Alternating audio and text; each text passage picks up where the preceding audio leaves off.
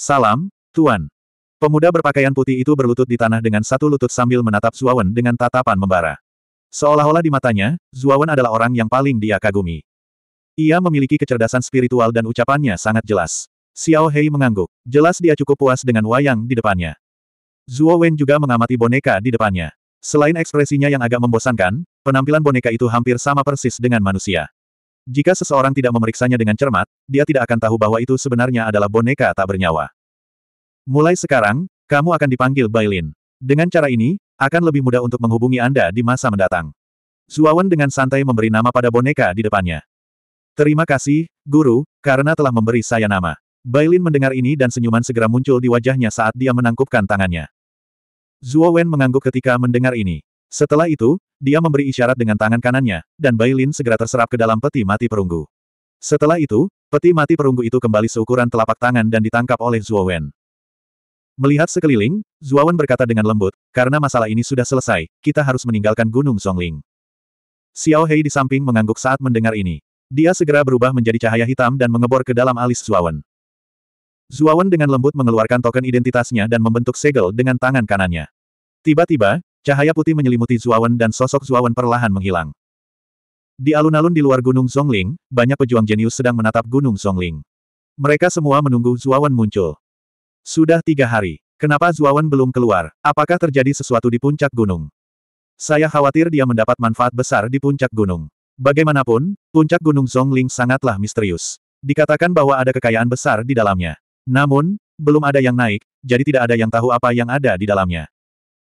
Jika memang ada kekayaan besar, Zuawan mungkin akan mendapat banyak manfaat di dalamnya.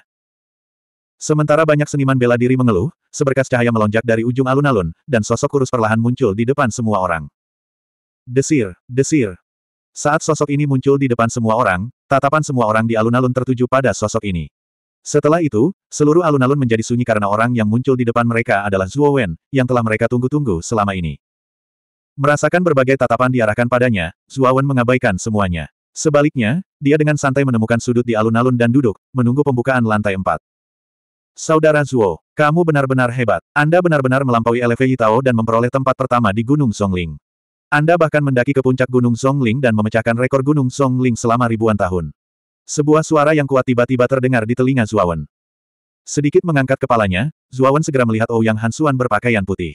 Dia memiliki ekspresi gembira saat dia berjalan di depan Zuawan. Setelah itu, dia duduk di samping Zuawan tanpa sedikit pun kesopanan. Saudara Hansuan. Melihat Ouyang Hansuan, wajah Zuawan menunjukkan sedikit senyuman. Ouyang Hansuan, Ouyang Yuntu, dan Qiu Chou dari Broken Rock City telah banyak membantunya. Meskipun Ouyang Hansuan ini agak licik, dia memang tidak buruk padanya dan bisa dianggap sebagai salah satu dari sedikit temannya. Saudara Zuo, Anda pasti tahu betapa indahnya ekspresi para seniman bela diri di alun-alun saat Anda mendaki ke puncak Gunung Songling. Bahkan wajah lima super genius pun bahkan lebih indah. Saat ini, Ouyang Hansuan sangat bersemangat. Dia terus memberitahu Zuawan tentang ekspresi dan ekspresi seniman bela diri lainnya ketika dia mendaki Gunung Songling. Dia menggambarkannya dengan jelas, sementara Zuawan duduk di samping dan mendengarkan sambil tersenyum.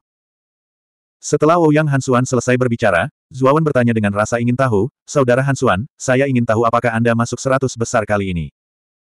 Mendengar ini, wajah Ouyang Hansuan menunjukkan ekspresi puas diri. Ia tersenyum dan berkata, saya cukup beruntung bisa masuk seratus besar. Kebetulan saya berada di peringkat seratus. Bisa dikatakan itu semua karena keberuntungan. Zuawan sedikit terkejut. Tingkat budidaya Ouyang Hansuan tidak tinggi. Dia hanya berada di tahap awal tahap Kaisar Ekstrim Roda kedua. Namun, dia sebenarnya mampu masuk seratus besar Gunung Songling. Tampaknya Ouyang Hansuan punya beberapa rahasia. Namun, Zuawan tentu saja tidak akan menyelidiki masalah ini. Dia baru saja mengubah topik pada waktu yang tepat. Bagaimanapun, setiap orang punya rahasianya masing-masing. Misalnya, Zuawan memiliki lebih banyak rahasia daripada yang lain. Dikatakan bahwa hanya lima warisan kuno yang akan muncul di lantai empat menara asal Ki. Saya khawatir lima warisan kuno ini tidak ditakdirkan bersama kita. Mereka seharusnya didominasi oleh lima jenius super. Namun, Saudara Zuo, dengan potensi dan kekuatanmu, kamu seharusnya memiliki kemungkinan bersaing untuk mendapatkan warisan kuno. Ouyang Hansuan menghela nafas sedikit. Kemudian, dia menatap Zuawan dengan penuh harap di depannya. Dia tahu bahwa orang lain mungkin tidak mampu bersaing dengan lima super jenius, tetapi Zuawan di depannya kemungkinan besar akan mendapatkan salah satu warisan kuno. Bagaimanapun, penampilan Zuawan di Gunung Zongling terlalu luar biasa. Selain itu, bahkan LV Yongsheng telah dikalahkan oleh Zuawan. Oleh karena itu, pejuang jenius lainnya telah mengira bahwa Zuawan adalah kandidat yang paling mungkin mendapatkan warisan dari lima super jenius. Itu belum tentu benar. Warisan kuno di lantai empat bergantung pada peluangnya sendiri. Mereka mungkin tidak dapat diperoleh dengan kekuatan. Zuawan menggelengkan kepalanya. Namun, dengan kekuatannya saat ini, tidak sulit baginya untuk mendapatkan salah satu warisan kuno. Namun, tujuannya kali ini bukanlah warisan biasa. Itu adalah warisan setan darah yang paling menakutkan. Oleh karena itu, dia tidak terlalu tertarik dengan lima warisan baru yang muncul. Saat Zuawan sedang berbicara dengan Ouyang Hansuan, LV Yitao tiba-tiba berdiri dan berjalan menuju ke arah Zuawan.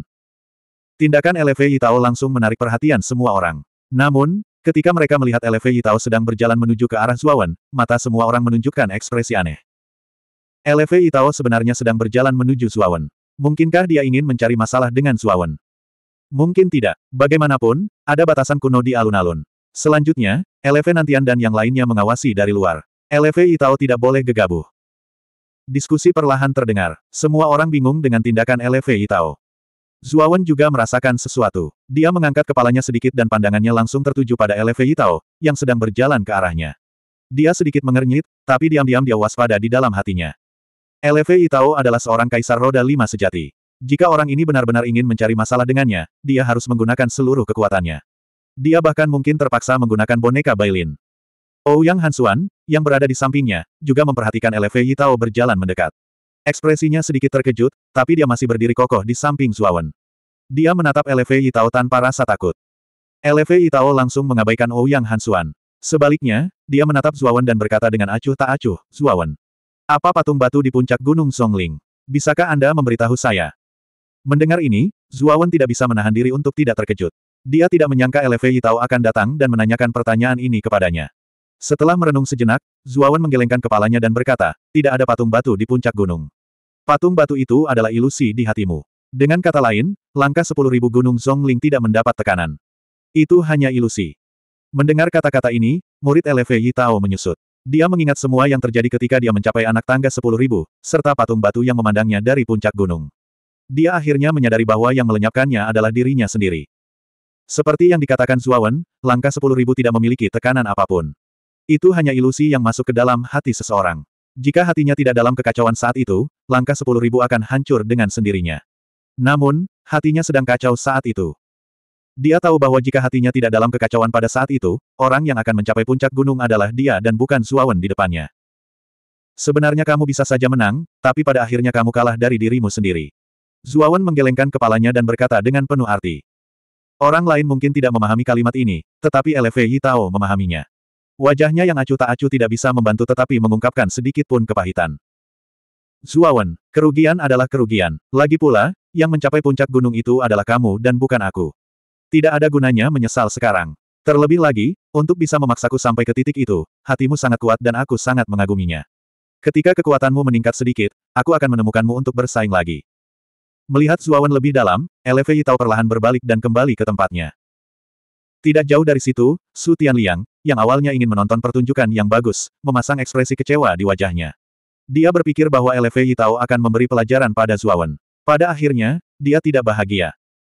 Lupakan, saat kita memasuki lantai empat, kita juga bisa memberi pelajaran pada bajingan kecil ini. Su Tianliang bergumam dengan penuh kebencian. Di sisi lain, Zuo Wen diam-diam menatap LV Yitao di kejauhan, ekspresi serius di wajahnya. Baru saja, ketika LV Yitao pergi, dia mengirimiku pesan. Kamu harus berhati-hati terhadap Su Tianliang dan Suci. Luo Xing baru saja memberitahuku bahwa kedua orang ini mungkin akan menyakitimu di lantai empat. Meski potensi Anda sangat kuat, namun kekuatan Anda masih belum cukup. Jika Anda ingin menyelamatkan hidup Anda, sebaiknya hindari kedua orang itu. Temperamen LV Yitao ini sangat baik. Dia tidak seperti saudara laki-lakinya yang kedua dan ketiga, yang penuh dengan tipu muslihat jahat dan membalas dendam atas keluhan sekecil apa pun. Dia memiliki sikap seorang pria sejati. Suara Xiao Hei tiba-tiba terdengar di benaknya. Kata-katanya tidak bisa menyembunyikan kekagumannya pada LV Yitao. Zuawan juga mengangguk. Tampaknya LV Yitao ini mampu menjadi jenius nomor satu di kabupaten mungkin bukan secara kebetulan. Bakat dan temperamen orang ini bisa dianggap sebagai pilihan terbaik. Prestasinya di masa depan pasti tidak terbatas. Namun, karena Sutian Liang dan Zuci ingin menyakitiku, maka saat kita memasuki lantai empat, jangan salahkan aku karena kejam. Saat dia berbicara, Zuo Wen sedikit memiringkan kepalanya. Pandangannya segera terfokus pada Sutian Liang, yang memiliki ekspresi muram, dan Zuci, yang memiliki ekspresi acuh tak acuh. Mengesampingkan Zuci untuk saat ini, Zuo Wen pasti akan menyelesaikan masalah lama dengan Su Tianliang. 532. Reruntuhan kuno. Kerumunan di alun-alun tidak perlu menunggu lama sebelum suara yang besar dan husyuk bergema di langit seperti air pasang. Mereka tahu bahwa Lunantian akhirnya berbicara. Selamat kepada mereka yang telah masuk seratus besar. Anda sekarang memiliki kualifikasi untuk memasuki lantai empat menara Origin Key. Begitu kata-kata ini diucapkan, mereka yang masuk seratus besar mengungkapkan ekspresi gembira. Sedangkan bagi mereka yang tidak masuk seratus besar, wajahnya muram. Lantai empat menara asal Ki dipenuhi dengan reruntuhan kuno. Ada banyak harta peninggalan zaman kuno di reruntuhan itu. Jika Anda memiliki kekuatan dan kesempatan, Anda bahkan bisa mendapatkan harta langka seperti harta karun jiwa surgawi. Adapun tempat di mana warisan kuno berada, berada di ujung lantai 4. Ada tanah warisan yang sangat luas di sana. Jika Anda ingin memasuki tanah warisan, Anda harus mendapatkan kunci yang sesuai. Kunci ini disembunyikan di reruntuhan kuno di luar tanah warisan. Biar saya perjelas, totalnya hanya ada 10 kunci. Oleh karena itu, hanya 10 orang yang memenuhi syarat untuk memasuki tanah warisan. Akan ada lima peninggalan kuno yang dibuka untuk umum. Tentunya selain kelima hal tersebut, ada juga warisan yang selalu dibuka untuk umum. Itu adalah warisan setan darah. Namun, orang tua ini punya nasihat untukmu. Proses mewarisi warisan iblis darah sangatlah mengerikan. Jika kamu tidak berhasil mewarisinya, kamu pasti akan mati. Oleh karena itu, jika kamu tidak memiliki level tertentu kekuatan, yang terbaik adalah tidak memilih warisan setan darah. Terlebih lagi, Menurut saya, di antara ratusan dari Anda, saya khawatir tidak ada satupun yang berhasil mendapatkan warisan setan darah. Oleh karena itu, yang terbaik adalah bertindak sesuai dengan kekuatan Anda. Begitu kata-kata ini diucapkan, kerumunan di alun-alun menjadi gempar. Mereka secara alami telah mendengar tentang teror warisan setan darah. Pada saat yang sama, warisan setan darah dianggap sebagai warisan terkuat di tanah warisan. Itu adalah warisan tertinggi yang melampaui warisan lainnya. Begitu seseorang memperoleh warisan Blood Demon, tidak akan menjadi masalah bagi mereka untuk memasuki alam empat penguasa di masa depan. Mereka bahkan mungkin bisa mengintip alam berdaulat tertinggi. Dengan kekuatan seperti itu, mereka akan mampu berdiri sejajar dengan Kaisar Azure dari Kekaisaran Mistik Azure. Setiap orang sangat jelas tentang pentingnya warisan. Ini karena warisan kuno tidak hanya berisi panduan rahasia seni bela diri, tetapi juga akumulasi pengalaman dari generasi ke generasi. Bagaimanapun, warisan itu memadatkan semua esensi sekte kuno. Memperoleh warisan juga berarti memperoleh akumulasi hasil dari generasi ke generasi sekte kuno. Sudah jelas betapa berharganya hasil tersebut bagi seorang kultivator. Justru karena alasan inilah warisan kuno memiliki daya tarik yang begitu kuat, menyebabkan banyak orang jenius yang memperjuangkannya. Dan semakin kuat sebuah warisan kuno, semakin menakutkan bagi seorang kultivator. Dan warisan Blood Demon, yang dikenal sebagai warisan nomor satu di tanah warisan, tidak diragukan lagi merupakan warisan yang memberikan dorongan terbesar bagi seorang kultivator. Namun, warisan setan darah sangat terkenal. Meskipun warisan setan darah cukup menggoda, banyak orang yang mengetahui batasannya. Oleh karena itu, mereka tidak berencana menaruh perhatian pada hal itu. Setelah mendengar kalimat terakhir Lunantian, Lunantian yang acuh tak acuh mengepalkan tangannya sedikit. Dia tahu bahwa kata-kata Lunantian dimaksudkan untuk dirinya sendiri. Lakukan apa yang kamu bisa. Mata Lu Yitao berkedip, tapi pada akhirnya dia masih menghela nafas. Dia tahu seberapa besar harapan Lunantian darinya. Bagaimanapun, perang sembilan negara akan segera dimulai. Jika sesuatu terjadi padanya karena warisan setan darah, perang sembilan negara ini mungkin akan sama dengan yang sebelumnya. Dalam perang menara asal Ki sebelumnya, Lu Hantian, jenius nomor satu di Kabupaten Mukin, dengan keras kepala memilih warisan setan darah. Pada akhirnya, dia gagal dan mati, meninggalkan para jenius lainnya di Kabupaten Mukin tanpa pemimpin. Oleh karena itu, Kabupaten Mukin kalah telak saat itu. Jika Lu Yitao memasuki lantai empat kali ini dan memilih warisan setan darah seperti Lu Hantian, kemungkinan besar dia akan berakhir dalam bencana. Pada saat itu, perang sembilan negara kemungkinan besar akan mengulangi kegagalan sebelumnya. Oleh karena itu, Lu Nantian berkata, lakukan apa yang kamu bisa. Lupakan, saat ini, saya perlu fokus pada gambaran besarnya. Sambil menggelengkan kepalanya, Lu Yitao juga tidak percaya pada warisan setan darah. Bagaimanapun, Lu Hantian meninggal karenanya, jadi dia tentu saja tidak terlalu percaya diri. Namun, Aku ingin tahu apakah Zuawan berhasil melewati ujian di dalam dan mendapatkan warisan jika dia memasuki warisan setan darah. Memikirkan hal ini, Lu Yitao hanya bisa melihat ke arah Zuawan yang tidak jauh darinya. Ia tahu bahwa Zuawan tidaklah mudah untuk bisa mencapai puncak Gunung Songling. Bahkan dia tidak bisa melihat melalui yang pertama, jadi dia tidak bisa tidak berpikir bahwa Zuawan mungkin bisa melewati warisan setan darah. Namun, dia segera membuang ide yang tidak realistis tersebut. Meskipun Zuawan mencapai puncak Gunung Songling, itu berarti anak ini memiliki potensi yang sangat tinggi. Namun, kekuatannya terlalu lemah. Memasuki warisan setan darah berarti mendekati kematian. Saya benar-benar tidak tahu kultivator monster mana yang akan mendapatkan warisan setan darah di lantai empat, atau apakah tidak ada seorang pun yang memenuhi syarat untuk mendapatkannya. Di langit, suara Lunantian terdiam beberapa saat sebelum bergema lagi. Jika tidak ada yang keberatan, maka tuan ini sekarang akan membuka pintu masuk ke lantai empat menara asal Ki untuk kalian semua. Saat suara eleve nantian jatuh, pilar cahaya putih tebal bertaburan dari cakrawala jauh. Ada lebih dari seratus pilar cahaya yang seperti pilar yang menopang langit. Mereka menyelimuti sebagian dari seniman bela diri di alun-alun, dan seniman bela diri yang diselimuti tidak diragukan lagi adalah seratus jenius teratas. Para penggarap lain di alun-alun yang tidak diselimuti oleh pilar cahaya memandang sosok di pilar cahaya dengan rasa iri. Mereka semua tahu bahwa peluang sebenarnya dari menara Origin Ki ada di lantai 4. Bagaimanapun, lantai 4 menara Yuan Ki berisi reruntuhan kuno yang tak ada habisnya. Bahkan jika mereka yang masuk dalam 100 teratas tidak dapat bersaing untuk mendapatkan lima warisan kuno, harta karun di reruntuhan kuno semuanya sangat berharga dan kuat. Bahkan mendapatkan salah satunya akan meningkatkan kekuatan seseorang secara signifikan. Kali ini, lima warisan kuno baru akan muncul di lantai empat menara asal Ki. Aku ingin tahu lima warisan kuno mana yang akan mendapatkan lima warisan kuno ini. Seharusnya itu adalah lima jenius super. Bagaimanapun, warisan kuno yang muncul setiap kali pertempuran menara asal Ki muncul, pada dasarnya mereka terbagi di antara para jenius dari lima kekuatan super. Itu benar, tapi Zuawan juga memiliki peluang yang sangat bagus untuk mendapatkan salah satu warisan kuno. Bagaimanapun, penampilannya di Gunung Zongling terlalu luar biasa.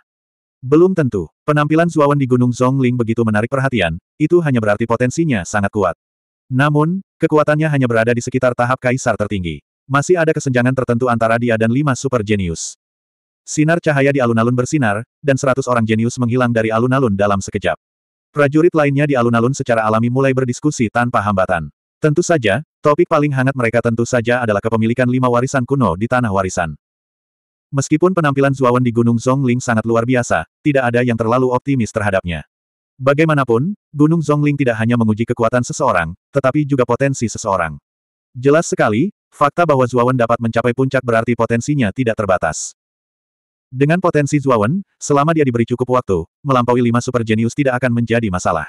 Namun, kekuatan Zuawan masih terlalu lemah. Dibandingkan dengan lima super jenius lainnya, dia masih memiliki kekurangan yang besar. Tentu saja diskusi hanyalah diskusi. Jika orang-orang ini mengetahui kekuatan Zuawan yang sebenarnya, mereka mungkin tidak akan begitu percaya diri terhadap Zuawan. Bagaimanapun, 365 titik akupuntur di tubuh Zuawan telah dibuka. Nirwana matahari besar telah mencapai tingkat pemula, dan kekuatan tubuhnya telah mencapai tingkat yang tak tertandingi. Kekuatannya sebanding dengan ahli tahap kaisar tertinggi. Bahkan ahli tahap kaisar tertinggi biasa belum tentu bisa menandingi Zuawan.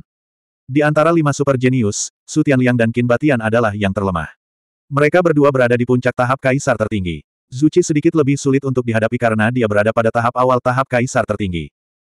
Namun, dengan kekuatan tubuh Zuawan, dia sama sekali tidak takut pada mereka bertiga. Faktanya, jika mereka bertarung, peluang kemenangan Zuawan sangat tinggi. Namun, Luo Xing dan Eleve Yitao adalah dua orang super jenius. Zuawan mungkin jauh lebih sulit untuk dihadapi. Dikatakan bahwa Luo Xing sudah berada di puncak tahap kaisar tertinggi. Jika Zuawan hanya mengandalkan kekuatan tubuhnya, dia mungkin tidak akan menandingi Luo Xing. Namun, jika dia menambahkan beberapa kartu asnya, dia mungkin bisa bertarung secara seimbang dengan Luo Xing. Di sisi lain, jenius nomor satu di Kabupaten Mukin, Eleve Yitao, telah mencapai puncak tahap kaisar tertinggi. Jika Zuawan tidak mengeluarkan harta karun roh tingkat surga, peti mati perunggu, dia mungkin tidak akan mampu melawan Eleve Yitao sama sekali. Namun, Peti mati perunggu adalah kartu truf terakhir Zuawan, jadi Zuawan tidak akan mengungkapkannya terlalu dini. Dengan sikap LV Tao, dia mungkin tidak akan merendahkan dirinya untuk menghadapi Zuawan. Tentu saja, meskipun dia harus berurusan dengan Zuawan, Zuawan tidak akan takut. Zuawan hanya melihat kilatan cahaya putih di depan matanya saat sedikit rasa pusing melintas di benaknya. Ketika dia berangsur pulih, Zuawan menemukan bahwa dia tidak lagi berada di alun-alun di lantai tiga. Ini adalah bukit kecil yang tandus. Dalam radius 10 mil di sekitar bukit kecil, terdapat penghalang cahaya transparan berbentuk oval. Di luar penghalang cahaya terdapat gurun tak berujung, yang tampaknya dipenuhi dengan perubahan dan kekunoan. Saat ini, di bukit kecil, seberkas cahaya melintas. Para pembudidaya lainnya juga diteleportasi oleh pancaran cahaya. Mereka semua menggosok kepala, wajah mereka bingung dan bingung. Jelas, mereka tidak terbiasa dengan lingkungan asing di sekitar mereka. Ini seharusnya menjadi lantai empat menara asal Ki, gumam Zuawan pada dirinya sendiri sambil melihat sekeliling ke lingkungan yang tandus. Saudara Zuo. Pada saat ini, Ouyang Hansuan yang berpakaian putih juga diteleportasi. Dia buru-buru datang ke sisi Zuawan. Di sini, dia hanya mengenal Zuawan. Apalagi Zuawan lebih kuat darinya. Bersama Zuawan setidaknya jauh lebih aman daripada sendirian. Bagaimanapun, lantai empat menara asal Ki tidak lagi dibatasi oleh batasan dan aturan kuno. Sulit untuk menjamin bahwa tidak akan ada beberapa penggarap dengan niat buruk yang ingin merampok tas Qian Kun dari penggarap lainnya. 533. Masalah. Sedikit menganggukkan kepalanya ke arah Ouyang Hansuan, mata Zhuo Wen menyipit saat dia menatap lingkungan luar melalui penghalang cahaya. Dia menemukan bahwa masih ada beberapa bangunan jarang di gurun tak berujung di luar. Namun, bangunan-bangunan tersebut terlihat sangat bobrok. Itu tampak seperti pemandangan yang membusuk setelah perang. Tidak sulit untuk menebak bahwa dahulu kala, perang yang sangat tragis telah terjadi di gurun ini. Ouyang Hansuan juga memperhatikan pandangan Zhuo Wen. Pandangannya juga tertuju pada bangunan bobrok di kejauhan. Sambil tersenyum, dia berkata, bangunan bobrok itu seharusnya merupakan sisa-sisa zaman kuno. Sisa-sisa zaman kuno ini pada dasarnya seperti ini, sangat bobrok. Reruntuhan kuno. Mendengar ini, mata Zuawan berbinar. Jika reruntuhan kuno itu relatif utuh, pasti ada hal-hal baik di dalamnya. Sekarang, Zuawan sangat kekurangan sumber daya. Jika dia bisa mendapatkan sumber daya yang cukup dari reruntuhan kuno ini, dia takut dia bisa mengandalkan peti mati perunggu untuk meningkatkan kekuatan Bailin ke alam Kaisar Roda Sembilan tertinggi. Setelah kekuatan Bailin mencapai alam Kaisar Roda Sembilan tertinggi, Zuawan tidak akan takut akan balas dendam Markis dari rumah Baichuan. Pada saat ini, seratus prajurit di bukit kecil pada dasarnya telah tiba. Para pejuang ini adalah teman dekat atau murid dari kekuatan yang sama. Mereka berkumpul dalam kelompok yang terdiri dari tiga atau lima orang, dibagi menjadi kelompok-kelompok kecil. Zuawan, Anda harus berhati-hati terhadap Sutian Liang dan Suci. Saya khawatir mereka akan menyakiti Anda. Jika bisa, Anda dapat bergabung dengan tim Jadi Lady Star Court kami. Dengan kekuatan Jadi Lady Star Court kami, Sutian Liang dan Suci tidak akan mudah menyentuh Anda. Saat Zuowen diam-diam mengamati lingkungan sekitar, suara yang jelas dan merdu perlahan terdengar di telinganya. Sedikit terkejut, Zuo Wen sedikit mengangkat kepalanya dan segera melihat King Lian, yang berada di tim jadi Lady Star Court, tidak jauh dari sana, menatapnya dengan prihatin. Melihat ekspresi prihatin di wajah King Lian, Zuo Wen merasakan sedikit kehangatan di hatinya. Dia mengangguk padanya dan menjawab melalui transmisi suara, Nona King Lian, terima kasih atas kebaikan Anda. Saya punya cara untuk menangani Sutian Liang dan Suci. Mendengar kata-kata Zuawan, King Lian tahu bahwa Zuawan mungkin punya rencana cadangan. Oleh karena itu, dia tidak khawatir. Bagaimanapun, dia telah melihat berbagai catatan yang dibuat Suawen selama ini. Oleh karena itu, dia masih percaya pada kekuatan Suawen. Jangan panggil aku Nona King Lian di masa depan. Panggil saja aku King Lian. Bagaimanapun, kami dianggap teman. Setelah ragu-ragu beberapa saat, King Lian tiba-tiba dengan malu-malu mengirimkan suaranya. Di wajah Anggun King Lian, yang tergabung dalam tim jadi Lady Star Court, ada sentuhan rasa malu yang langka, seperti bunga teratai yang muncul dari air. Zuawan secara alami melihat perilaku King Lian yang tidak biasa. Dia ragu-ragu sejenak dan berkata, karena itu masalahnya, aku akan langsung memanggilmu King Lian di masa depan. Lagi pula, kamu memperlakukanku sebagai teman, jadi aku, Zuawan, tentu saja akan memperlakukanmu sebagai teman. Anda harus berhati-hati di reruntuhan kuno kali ini. N, saya akan. Melihat Zuawan benar-benar memanggil namanya, King Lian sangat gembira dan sudut mulutnya berubah menjadi senyuman manis. Namun, Zuo Wen tidak melihat semua ini karena ketika dia berbicara dengan King Lian, dua tatapan jahat tertuju pada punggungnya, menyebabkan bulu di punggungnya berdiri. Memiringkan kepalanya sedikit, Zuo Wen segera melihat bahwa tidak jauh di belakangnya, pemilik kedua tatapan ini adalah Su Tian Liang dan Suci. Saat ini, mereka berdua memiliki cukup banyak bawahan di samping mereka. Pada dasarnya, mereka semua adalah murid keluarga Markis Baichuan dan keluarga pedang kekaisaran. Bagaimanapun, lima faksi super besar adalah lima faksi terkuat di Kabupaten Mukin. Mereka menghasilkan banyak orang jenius. Oleh karena itu, lima faksi besar menduduki hampir setengah dari seratus tempat teratas kali ini. Rata-rata, sepuluh orang dari masing-masing lima faksi besar telah memasuki level keempat.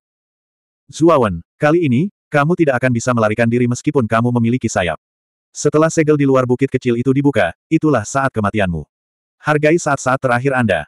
Tatapan Su Tianliang dingin. Dia membawa 20 orang di belakangnya dan langsung datang ke depan Zuawan. Tatapannya merendahkan saat dia menatap Zuawan. Zuci berdiri di samping Su Tianliang dengan tangan disilangkan di depan dada. Dengan ekspresi dingin, dia berkata, Zuawan. Sebenarnya, saya, Zuci, tidak tertarik ikut campur dalam dendam antara Anda dan Su Tianliang. Jika Anda memberi saya tas Kun Anda, maka saya tidak akan ikut campur dalam dendam antara Anda dan Su Tianliang. Bagaimana dengan itu?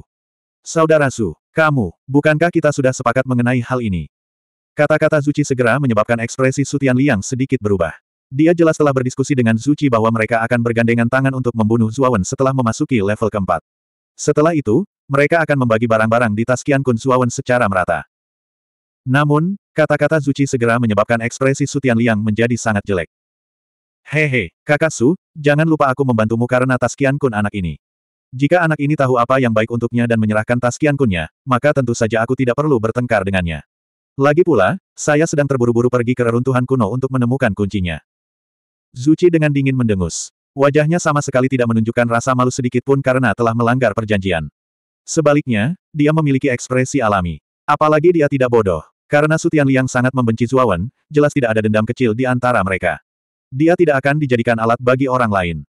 Mendengar ini, Su Tianliang dengan dingin mendengus. Pandangannya tertuju pada Zuawan. Dia yakin Zuawan tidak akan dengan mudah setuju untuk memberikan taskian kun miliknya kepada Zuci. Begitu dia tidak setuju, Zuci akan tetap bergandengan tangan dengannya untuk membunuh Zuawan ini pada akhirnya. Namun, Zuawan menggelengkan kepalanya dan dengan dingin berkata, kamu pikir kamu ini siapa? Mengapa saya harus memberikan taskian kun saya kepada Anda? Jika pemimpin gerbang pedang kekaisaranmu, Suan Yuanli, datang meminta taskian kunku, mungkin aku akan memberikannya padanya. Tapi kamu pikir kamu ini siapa? Ketika kata-kata ini keluar, lingkungan sekitar tiba-tiba menjadi sunyi. Segera setelah itu, banyak orang menatap Zuawan dengan heran. Mereka tidak menyangka amarah Zuawan akan begitu buruk. Dia sebenarnya tidak memberikan wajah apa pun pada Zuci. Saat ini, wajah Zuci sangat muram. Awalnya, dia tidak berencana membunuh Zuawan. Dia hanya ingin Zuawan menyerahkan tas Kian Kun miliknya. Maka, mereka tentu saja tidak akan peduli dengan masalah antara dia dan Su Tianliang. Namun, sekarang setelah Zuawan mengatakan ini, rasa dingin di hatinya menjadi semakin kuat. Jejak niat membunuh secara bertahap muncul di hatinya terhadap Zuawan. Sebagai orang jenius nomor satu di gerbang pedang kekaisaran, siapa yang tidak akan menghormatinya? Siapa yang tidak memberinya wajah seperti Zuawan? Hal ini hampir membuat paru-paru Zuci meledak. Tentu saja, kamu punya nyali. Awalnya, saudara Su berkata bahwa kamu sombong dan angkuh. Aku tidak percaya. Lagi pula, kamu hanyalah orang rendahan dari kota tingkat rendah. Kamu harus begitu percaya diri. Sombong dan angkuh. Tapi sekarang, aku percaya. Bocah sombong sepertimu biasanya berakhir dalam kondisi yang sangat menyedihkan. Zuci berkata dengan dingin. Mata Sutian Liang berbinar ketika dia melihat Zuawan benar-benar marah. Dia diam-diam mengutuk Zuawan karena tidak punya otak. Dia sebenarnya sangat arogan sehingga dia bahkan tidak menganggap serius Suci. Bagaimanapun, Zuci sedikit lebih kuat darinya. Bahkan dia tidak berani berbicara kasar padanya. Konflik antara Zuawan dan Sutian Liang dan Zuci juga menarik perhatian orang lain di atas bukit. Tatapan segera tertuju pada Zuawan, Su Tianliang, dan yang lainnya. Tatapan mereka dipenuhi dengan ejekan. Hem, Su Tianliang dan Zuci sebenarnya telah membuat masalah bagi Zuawan. Sepertinya Zuawan siap melakukannya. Zuawan sendirian, meskipun penampilannya di Gunung Zongling sangat menarik, kekuatannya hanya ada di alam kaisar tertinggi roda tiga. Jika dia menyinggung Su Tianliang dan Zuci pada saat yang sama, pada dasarnya dia sudah tamat. Orang-orang di sekitarnya berbisik. Mereka memandang Zuawan dengan rasa kasihan, khawatir, dan rasa malu. Namun, kebanyakan dari mereka diam-diam berduka atas Zuawan. Bagaimanapun, kekuatan Zuawan tidak tinggi. Menghadapi Sutian Liang dan Zuci sama saja dengan mendekati kematian. Luo Xing, King Lian, dan LV Yitao, yang tidak jauh dari sana, juga memperhatikan situasi aneh di pihak Zuawan. Mereka semua sedikit mengernyit. Kakak senior Luo Xing, kamu harus membantu Zuawan kali ini. Jika kamu tidak membantu, jangan hentikan aku. Mata indah King Lian dipenuhi dengan tekad saat dia berbisik kepada King Lian. Mendengar ini, Luo Xing menghela nafas pelan dan berkata, jangan khawatir. Saya akan membantu kali ini. Bagaimanapun, Zuawan menyelamatkan nyawa Anda dan Hong Lian di hutan gelap. Ini adalah waktu untuk membalas budi ini. Saat dia berbicara, Luo Xing memimpin tim pengadilan astral wanita Giok perlahan ke tempat Zuawan berada. Eh, orang-orang dari istana astral Jade Lady juga ada di sini. Apakah mereka juga ingin berurusan dengan Zuawan? Ketika Luo Xing memimpin tim ke tempat Luo Xing berada, banyak orang di sekitarnya yang terkejut. Luo Xing, mungkinkah kamu ingin melindungi Zuo Wen? Anda harus tahu bahwa jika Anda ingin melindungi Zuawan, itu berarti Anda harus melawan dua kekuatan Super Marquis House of Baichuan dan Ruling Sword School. Melihat Luo Xing memimpin tim ke sisi Zuawan, kelopak mata Sutian Liang bergerak-gerak dan dia berkata dengan suara malu-malu. Wajah Suci juga berubah jelek. Terutama ketika dia melihat Luo Xing, matanya dipenuhi rasa dingin. Zuo Wen ini pernah menyelamatkan murid dari Istana Astral Wanita Giok. Pengadilan astral wanita Giok berhutang budi padanya, jadi kuharap kalian berdua bisa memberiku wajah dan melepaskan Zuo Wen. Wajah Luo Xing acuh tak acuh. Suaranya jernih dan merdu. Banyak pejuang yang hadir menunjukkan sentuhan kegilaan setelah mendengar suaranya yang merdu. Di sisi lain, Zuo Wen menatap Luo Xing dengan heran. Dia tidak pernah menyangka Luo Xing akan membantunya untuk pertama kalinya. Dia ingat bahwa Luo Xing sepertinya tidak peduli sama sekali ketika lelaki tua abadi itu menyerangnya. Namun, setelah melihat King Lian menjulurkan lidah ke arahnya di samping Luo Xing, dia tahu bahwa bantuan Luo Xing sebagian besar disebabkan oleh King Lian. Luo Xing, apakah Anda benar-benar akan membantu Zuawan? Zuci tiba-tiba mengambil langkah ke depan sambil menatap Luo Xing dengan mata merah. Aura menakutkan keluar dari tubuhnya seolah-olah ada binatang buas yang tersembunyi di dalam tubuhnya. Luo Xing mengerutkan kening. Dia tahu bahwa Zuci telah menyimpan dendam padanya karena telah merebut gelar jenius kedua, tetapi dia tidak menyangka Zuci ingin menyerangnya. Namun, Luo Xing tidak takut. Bagaimanapun, dia sangat jelas tentang perbedaan kekuatan antara dia dan Zuci. Jika mereka benar-benar bertarung, Zuci tidak akan mendapatkan keuntungan sedikitpun. 534. Sekte Bintang Jatuh Tepat saat suasana di atas bukit sedang mencapai puncaknya, langkah kaki yang jelas terdengar pelan. LV Itao, Mengenakan jubah putih, perlahan berjalan dengan ekspresi acuh tak acuh. Zuci, mari kita akhiri ini di sini. Meskipun kamu bisa bertarung dengan bebas di lantai empat menara vitalitas, kami bahkan belum memasuki reruntuhan kuno. Apakah kamu tidak takut dengan teguran ayah? LV Itao berhenti di samping Luo Xing. Matanya menyipit saat dia menatap Zuci, yang matanya merah dan auranya mendidih. Aura yang beberapa kali lebih kuat dari Zuci perlahan mengalir keluar dan langsung menekan Zuci.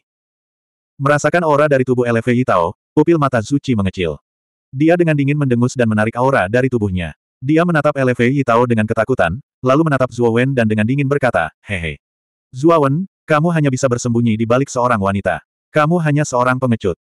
Zuo Wen tidak peduli dengan provokasi tingkat rendah suci. Sebaliknya, dia menatap LV Yitao dengan sedikit terkejut. Dia tidak menyangka LV Yitao akan benar-benar melangkah maju. Ini adalah sesuatu yang tidak dia duga.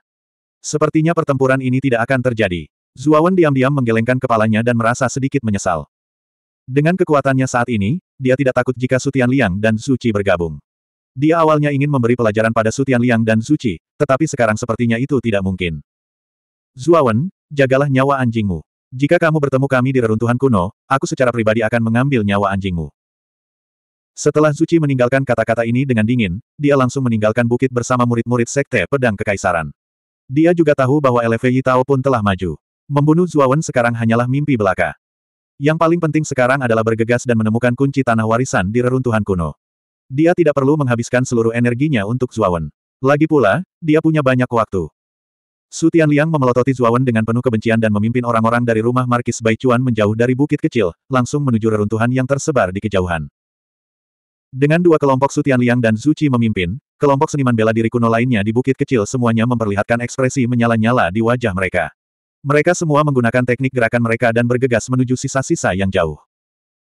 Meski mereka tidak sekuat lima super jenius, kunci tanah warisan bukanlah sesuatu yang bisa ditemukan dengan mengandalkan kekuatan. Itu masih tergantung pada keberuntungannya sendiri. Dalam sekejap, hampir separuh penggarap di bukit kecil telah pergi, dan bukit kecil yang semula ramai kini tampak cukup sepi. Saudari Luoxing, Zuawan, sudah waktunya bagi saya untuk pergi juga. Saya ucapkan semoga beruntung dan semoga Anda bisa mendapatkan kuncinya. Saat dia berkata, Tatapan LV Yitao tiba-tiba tertuju pada Zuawan dan dia berkata, Zuawan. Saya harap Anda dapat dengan cepat meningkatkan kekuatan Anda. Jika saatnya tiba, saya akan bersaing dengan Anda lagi. LV Itao berdiri tegak dan dengan samar menangkupkan tangannya untuk memberi hormat kepada Zuawan, Luoxing, dan yang lainnya. Dia juga memimpin orang-orang dari rumah Markis Qin menjauh dari bukit kecil. Zuawan, jarang sekali kakak LV membela seseorang. Sepertinya dia sangat menganggapmu sebagai lawannya. Saya khawatir ketika kekuatan Anda meningkat, saudara LV akan benar-benar menemukan Anda untuk bersaing. Mata indah Luoxing sedikit bersinar saat dia menatap Zuawan. Sudut mulutnya menunjukkan senyuman tipis. Indah seperti seratus bunga bermekaran. Ouyang Hansuan, yang berada di samping Zuawan, menatap dengan mata terbuka lebar. Bahkan Zuawan mau tidak mau akan sedikit terkejut dengan senyum memikat Luosing. Luosing memang layak menjadi wanita cantik nomor satu di provinsi tersebut. Setiap kerutan dan senyumannya membawa pesona yang tiada taraf. Dalam hal temperamen dan penampilan, mungkin hanya Mu Cheng Sui, yang dia temui di gua kuno, yang bisa bersaing dengannya. Memikirkan Mu Cheng Sui, tatapan Zuawan perlahan kabur. Kali ini, dia dianggap telah sepenuhnya mendapatkan tempat di seratus teratas menara vitalitas. Dia sudah memenuhi syarat untuk berpartisipasi dalam pertempuran sembilan negara. Dia juga selangkah lebih dekat untuk bertemu Mu Cheng Sui. Mu Cheng Sui, tunggu aku. Dalam pertempuran sembilan negara, saya, Zuawan, pasti akan memperjuangkan kesempatan untuk dianugerahi gelar Markis. Hanya seorang markis yang memiliki kualifikasi untuk berpartisipasi dalam ujian masuk Akademi Jiasen. Sedikit mengepalkan tinjunya, pandangan kabur di mata Zuawan berangsur-angsur menghilang dan digantikan oleh sentuhan tekad. Lebih dari dua tahun telah berlalu sejak mereka berpisah di Gua Kuno. Zuawan juga secara bertahap tumbuh dari pemuda yang lembut menjadi pemuda yang kuat. Dalam dua tahun ini, Zuawan tidak melupakan janji yang dia buat dengan Mu Cheng Sui. Sebaliknya, kerinduannya terhadap wanita itu menjadi semakin kuat. Bahkan sekarang, Zuawan tidak sabar untuk pergi ke Akademi Jia Sen untuk menemui Mu Cheng Sui. Namun, dia juga tahu bahwa Akademi Jia Sen adalah kekuatan terbesar kedua di negeri timur. Di hadapan kekuatan seperti itu, Kekaisaran King Xuan adalah eksistensi seperti semut. Jika dia menggunakan kekuatannya saat ini, dia bahkan tidak memiliki kualifikasi untuk masuk Akademi Jia Sen, apalagi melihat Mu Cheng Sui. Justru karena alasan inilah Zuo Wenchai telah mati-matian berkultivasi selama dua tahun terakhir, dan bahkan mengalami kesulitan yang tak terhitung jumlahnya. Pasalnya, di dalam hatinya selalu ada sosok cantik yang ia khawatirkan dan rindukan. Ketidakhadiran Zuawan yang tiba-tiba membuat sudut mulut Luo Xing membentuk senyuman tipis. Jelas sekali, dia mengira ketidakhadiran Zuawan adalah karena senyuman manisnya. Sambil menggelengkan kepalanya, Luo Xing berkata dengan lembut, Tuan Muda Zuo, kita juga harus pergi. Saya harap kalian semua beruntung. Mengangguk ringan, Luo Xing memimpin orang-orang di jadi Lady Star Court dan pergi. Tidak lama setelah Luo Xing dan yang lainnya pergi, Zuawan menarik napas dalam-dalam dan berkata kepada Ouyang Hansuan di sampingnya, Saudara Hansuan, ayo pergi. Jika kita bisa menemukan kedua kunci tersebut kali ini, kita akan memenuhi syarat untuk memasuki tanah warisan. Tanpa diduga, Ouyang Hansuan menggelengkan kepalanya dan berkata sambil tersenyum pahit, Saudara Zuo. Kekuatanku terlalu lemah. Sekalipun saya menemukan kuncinya, saya tidak berencana memasuki tanah warisan. Lagi pula, dengan kekuatanku, aku khawatir aku tidak akan bisa kembali hidup-hidup jika aku memasuki tempat itu. Ouyang Hansuan cukup sadar diri. Kali ini, dia memasuki reruntuhan kuno dengan tujuan menemukan harta karun yang kuat. Adapun warisan kuno, itu terlalu jauh baginya. Mendengar ini, Zuawan juga mengangguk. Kata-kata Ouyang Hansuan masuk akal. Kekuatannya memang sedikit lemah. Memasuki tanah warisan pasti akan lebih banyak merugikan daripada menguntungkan bagi Ouyang Hansuan. Saat kita memasuki reruntuhan kuno, aku akan membantumu mendapatkan beberapa harta karun. Dengan cara ini, kedatanganmu tidak akan sia-sia. Setelah merenung sejenak, Zuawan memutuskan untuk memberikan sejumlah harta untuk Ouyang Hansuan. Bagaimanapun, Zuawan dan Ouyang Yuntu telah banyak membantunya. Kebaikan seperti itu tentu saja harus dibayar kembali oleh Ouyang Hansuan. Selain itu, Ouyang Hansuan telah memperlakukannya dengan tulus, jadi dapat dimengerti jika Zuawan akan membantu Ouyang Hansuan. Ayo pergi. Dengan itu, Zuawan dan Ouyang Hansuan tiba-tiba berubah menjadi dua pita dan bergegas menuju reruntuhan di kejauhan. Astaga! Astaga! Dua suara yang menusuk udara tiba-tiba terdengar. Zuawan dan Ouyang Hansuan tiba-tiba berhenti di depan sebuah bangunan besar. Bangunan ini sangat bobrok. Namun, dari jejaknya yang bobrok, Zuawan masih dapat melihat bahwa bangunan ini dulunya adalah aula yang sangat megah. Di depan aula bobrok ini, terdapat sebuah lengkungan batu setinggi puluhan kaki. Namun, hanya separuh dari lengkungan batu ini yang tersisa. Ada beberapa kata samar yang terukir di atas lengkungan batu. Sekte Bintang Jatuh. Melihat kata-kata yang tidak jelas itu, Zuawan bergumam. Jelas sekali, aula bobrok ini seharusnya adalah reruntuhan sekte bernama Sekte Bintang Jatuh di zaman kuno. Saat ini, di aula bobrok di depan, sudah ada beberapa orang yang terus-menerus mencari ke dalam. Jelas sekali, mereka semua mencoba peruntungan untuk melihat apakah mereka dapat menemukan harta karun di aula ini. Sekte bintang jatuh ini kelihatannya cukup megah. Namun, sayang sekali kalau sekarang sudah sangat bobrok. Berdiri di luar pintu dan melihat reruntuhan sekte di depannya, Ouyang Hansuan hanya bisa menghela nafas. Terkadang, kekuatan waktu sangat menakutkan. Betapapun mulianya masa lalu, seiring berjalannya waktu, kejayaan itu pada akhirnya akan menjadi masa lalu. Ayo masuk dan lihat, mungkin kita bisa menemukan beberapa petunjuk berguna di dalamnya. Zuawan menghela nafas dan mengangguk. Lalu, dia memimpin Ouyang Hansuan langsung ke aula. Kedatangan Zuawan dan Ouyang Hansuan juga menarik perhatian orang-orang di aula. Ketika mereka melihat Zuawan, mereka semua mengungkapkan sedikit ketakutan. Penampilan Zuawan di Gunung Songling sangat menakjubkan.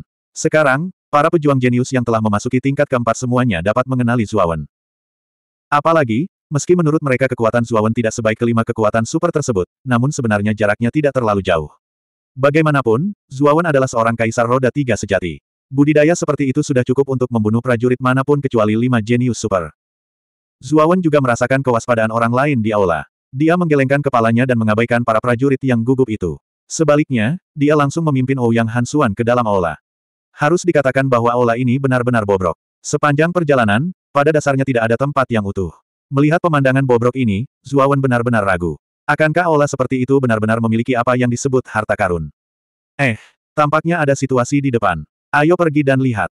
Tiba-tiba, Zuawan menjerit kaget. Baru saja, saat dia sedang berjalan, Xiao Hei di lautan kesadarannya tiba-tiba menyebutkan bahwa sepertinya ada gerakan di depan. Oleh karena itu, Zuawan segera menjadi waspada dan mulai berjalan maju perlahan. Ketika Ouyang Hansuan melihat penampilan Zuawan yang waspada, dia sedikit bingung. Namun, dia tidak keberatan dan juga mengikuti di belakang Zuawan dengan waspada. Bagaimanapun, kekuatan Zuawan jauh lebih kuat daripada miliknya. Mengikutinya tentu saja akan lebih aman.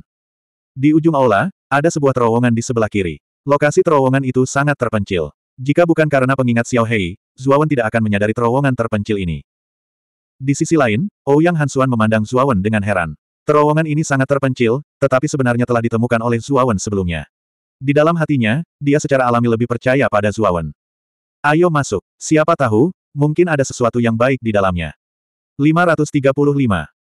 Tablet batu luar angkasa. Lorong itu gelap dan suram. Hembusan angin dingin terus-menerus bersiul melalui lorong sempit, terdengar sangat mengerikan. Penampilan Zuawan masih baik-baik saja, tetapi ekspresi Ouyang Hansuan agak tidak wajar. Namun, ketika dia memikirkan kekuatan Zuawan yang kuat, dia merasa jauh lebih nyaman. Lihat, ada sumber cahaya di depan. Saya khawatir kita hampir sampai di pintu keluar. Ouyang Hansuan tiba-tiba menunjuk ke depan dan berteriak dengan penuh semangat. Mendengar ini, pandangan Zuawan juga terfokus ke depan.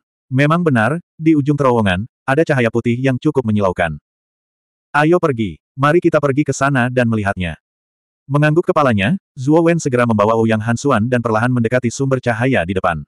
Ekspresinya masih dipenuhi kewaspadaan. Bagaimanapun, tempat ini adalah bagian dalam sekte kuno. Meskipun waktu telah berlalu dan sebagian besar sudah menjadi sangat bobrok, tidak ada yang tahu apakah masih ada mekanisme atau batasan yang kuat di dalamnya atau tidak.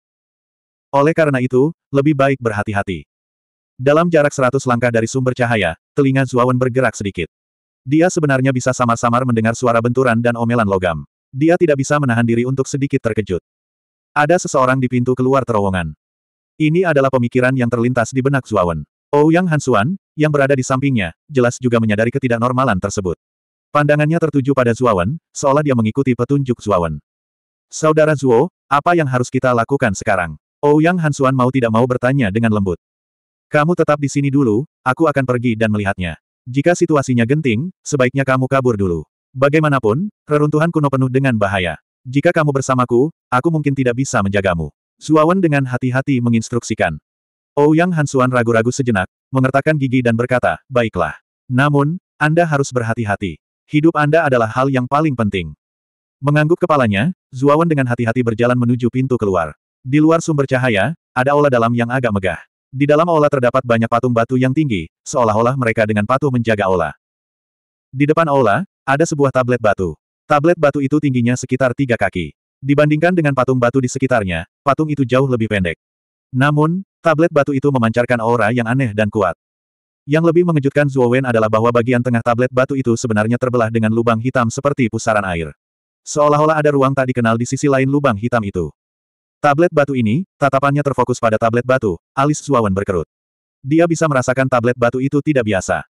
Anak laki-laki, artinya, loh batu luar angkasa, loh batu. Ruangnya adalah ruang berkali-kali. Ruangnya adalah ruang-ruang. Biasanya, tablet batu luar angkasa semacam ini pada dasarnya digunakan oleh sekte-sekte kuno tersebut untuk menyimpan harta karun di sekte tersebut, dan tablet batu luar angkasa ini seharusnya milik sekte bintang jatuh. Tiba-tiba, suara Xiao Hei terdengar di benak Zuo Wen tanpa peringatan. Itu hampir membuat Zuo Wen ketakutan. Ruang angkasa. Itu berarti pasti ada sesuatu yang baik di dalamnya. Mendengar kata-kata ini, mata Zuo Wen tiba-tiba memancarkan secercah cahaya. Menurut Xiao Hei, tablet batu luar angkasa adalah tempat sekte bintang jatuh menyimpan harta karun. Bagaimanapun, sekte bintang jatuh adalah salah satu sekte kuno. Pasti ada banyak harta karun. Mungkin, ada juga banyak harta karun di tablet batu luar angkasa. Secara teoritis, itu benar. Namun, Melihat tampilan tablet batu luar angkasa, sepertinya telah dibuka oleh seseorang. Saya khawatir sebagian besar harta di dalamnya telah diambil. Mata Xiao Hei seperti obor. Sekilas, dia bisa melihat bahwa tablet batu luar angkasa di depan mereka telah dibuka oleh seseorang. Mata Zuawan juga menunjukkan sedikit kekecewaan saat mendengar ini. Dia tahu bahwa jika tablet batu luar angkasa telah dibuka oleh seseorang, mustahil baginya untuk mengambil benda-benda di dalamnya. Mereka akan dibawa pergi oleh orang lain. Tidak, ada lapisan batasan di luar tablet batu luar angkasa. Jika tablet batu luar angkasa diambil oleh orang lain, tidak mungkin untuk menetapkan batasan di luar. Mungkin orang yang membuka tablet batu luar angkasa adalah seseorang dari Sekte Bintang Jatuh. Tiba-tiba, Xiao Hei sepertinya menyadari sesuatu dan berkata. Mendengar ini, Zuawan juga memperhatikan ada lapisan pembatas di luar tablet batu luar angkasa. Dia mengangguk sedikit. Dia tahu bahwa jika seseorang membuka tablet batu luar angkasa, tidak mungkin untuk menetapkan batasan di luar. Oleh karena itu, itu pasti dibuat oleh seseorang dari Sekte Bintang Jatuh. Sejak pembatasan dibuat, pasti ada beberapa harta karun di tablet batu luar angkasa. Memikirkan kemungkinan ini, Zuawan merasa lega. Sekarang dia kekurangan sumber daya dan harta. Lagi pula, jika dia ingin menggunakan peti mati perunggu untuk meningkatkan kekuatan boneka Bailin ke alam Kaisar Roda Sembilan, dia harus menghabiskan sumber daya yang tak ada habisnya. Sejak terakhir kali dia menciptakan Bailin, sumber daya Zuawan telah habis. Oleh karena itu, memasuki reruntuhan kuno kali ini adalah kesempatan bagi Zuawan. Selama dia menemukan sumber daya yang cukup, peningkatan kekuatan Bailin dapat dipercepat. Semakin kuat Bailin, semakin besar peluangnya untuk memasuki tanah warisan Blood Demon. Tatapan Zuawan dengan cepat tertuju pada tengah istana. Ada sepuluh orang yang saling berhadapan, dan mereka jelas terbagi menjadi dua faksi. Salah satu fraksi dipimpin oleh seorang pemuda botak, totalnya ada tujuh orang. Semuanya memiliki aura yang kuat, dan ternyata tidak lemah. Aura pemuda botak itu adalah yang paling kuat, dan dia berada pada tahap awal alam kaisar roda tiga tertinggi. Faksi lain memiliki lebih sedikit orang, dan pemimpinnya adalah seorang wanita yang tampak heroik. Auranya juga tidak lemah, dan dia juga berada pada tahap awal alam kaisar roda tiga terhebat. Namun kondisi wanita ini kurang baik, dan terdapat warna hitam kehijauan di wajahnya. Rupanya, dia telah diracuni. Dari pakaian mereka, Zuo Wen dapat langsung mengetahui bahwa ketujuh orang tersebut berasal dari kediaman Markis Bai Chuan, dan wanita berpenampilan heroik yang memimpin kelompok tersebut adalah orang jenius nomor satu di kota Lingtian, Ling Wushuang. Zuawan pernah bertarung melawan jenius nomor tiga di kota Lingtian, Ling Xiaodao, sebelumnya, jadi dia sudah tidak asing lagi dengan kota Lingtian. Su Tianliang tidak ada di sini. Aneh sekali. Zuawan menyipitkan matanya saat dia menatap pemuda botak itu, dan tatapannya menjadi dingin dan tanpa ampun. Saat itu, Su Tianliang telah mengincarnya di setiap kesempatan, dan markis dari Baichuan, Su Chang, bahkan tanpa malu-malu menekan dan mengancamnya. Karena itu, Zuawan sangat membenci kediaman markis dari Baichuan. Oh, sepertinya Anda berencana mengambil tindakan. Xiao Hei tiba-tiba berkata sambil tersenyum. Karena mereka berasal dari kediaman Markis of Baichuan, aku, Zuawan, secara alami akan mengambil tindakan. Jika aku tidak membunuh beberapa orang jenius lagi dari kediaman Markis of Baichuan, maka Su Chang akan berpikir bahwa aku takut padanya. Apakah dia benar-benar berpikir bahwa aku, Zuawan, adalah orang yang penurut? Zuawan menyeringai, dan tatapannya menjadi lebih dingin. Dia ingin memberitahu Su Chang dan Su Tianliang bahwa jika mereka ingin membunuhnya, Zuawan, mereka harus membayar harga tertentu. Pada saat ini, di tengah aula, Ling Wushuang memegang pedang di tangan kanannya. Wajah aslinya yang seputih salju kini tertutup kabut hitam kehijauan yang tebal, dan terlihat jelas bahwa dia telah sangat keracunan. Namun, wanita ini juga cukup keras kepala. Meski telah diracun, dia tetap berdiri tegap dengan pedang di tangannya, menghadap pemuda botak dan yang lainnya tanpa rasa takut sedikitpun. Dua orang jenius lainnya dari kota Lingtian di belakang Ling Wushuang juga memiliki wajah hitam kehijauan. Kekuatan mereka tidak sekuat Ling Wushuang, sehingga mereka tidak bisa berdiri dengan mantap sama sekali. Mereka hampir lumpuh di tanah, dan wajah mereka dipenuhi rasa sakit. Su Mutian, kamu benar-benar tercela. Kami dengan jelas mengatakan bahwa kami akan melanggar batasan ini bersama-sama, tetapi Anda diam-diam meracuni kami. Mungkinkah kediaman Markis of Baichuan Anda adalah sekelompok orang tercela seperti Anda? Huff, Anda benar-benar tidak pantas menjadi salah satu dari lima kekuatan super di ibu kota provinsi. Alis Ling Wushuang yang seperti pedang terjalin erat saat dia memaksa dirinya untuk berdiri. Dia dengan dingin menatap ketujuh orang di depannya, yang memiliki ekspresi mengejek. Awalnya, Tiga jenius dari kota Lingtian adalah orang pertama yang menemukan istana dan prasasti batu spasial, dan pemuda botak serta yang lainnya baru tiba kemudian. Namun, karena kekuasaan kediaman Markis dari Baichuan, Ling Wushuang tidak ingin berkonflik dengan mereka, jadi dia memutuskan untuk bekerja sama dengan mereka untuk melanggar batasan tersebut. Pada awalnya, pemuda botak, Su Sutian, tentu saja setuju. Namun, ketika mereka menghancurkan formasi, Su Sutian sebenarnya meracuni mereka bertiga dengan keji, membuat mereka tidak dapat mengerahkan kekuatan apa pun. Mereka pada dasarnya berada di bawah kekuasaan Susutian. Tercela, Su Mutian menggelengkan kepalanya dan melanjutkan, di dunia ini, pemenang mengambil segalanya, yang kuat dihormati. Yang kami pedulikan adalah hasilnya, bukan prosesnya. Selama kita bisa membunuh musuh, bagiku, aku akan menggunakan metode apa pun yang nyaman. Sama seperti diriku yang sekarang, aku hanya membutuhkan sedikit racun untuk membunuh kalian bertiga, jadi mengapa aku harus menyia-nyiakan kekuatanku untuk bertarung denganmu? Hehe, kamu hanya bisa menyalahkan dirimu sendiri karena terlalu bodoh. Jadi, setelah kamu mati, jadilah sedikit lebih pintar. Su Mutian tertawa dingin dan melambaikan tangan kanannya sambil berkata dengan dingin, bunuh mereka bertiga. Ya. Enam orang jenius di belakangnya menangkupkan tangan mereka dengan hormat, lalu mencengkeram senjata di tangan mereka erat-erat saat mereka tiba-tiba menembak ke arah Ling Wushuang dan yang lainnya. Cahaya dingin yang menakutkan melintas di udara, membentuk lengkungan yang menyedihkan. Ini sudah berakhir.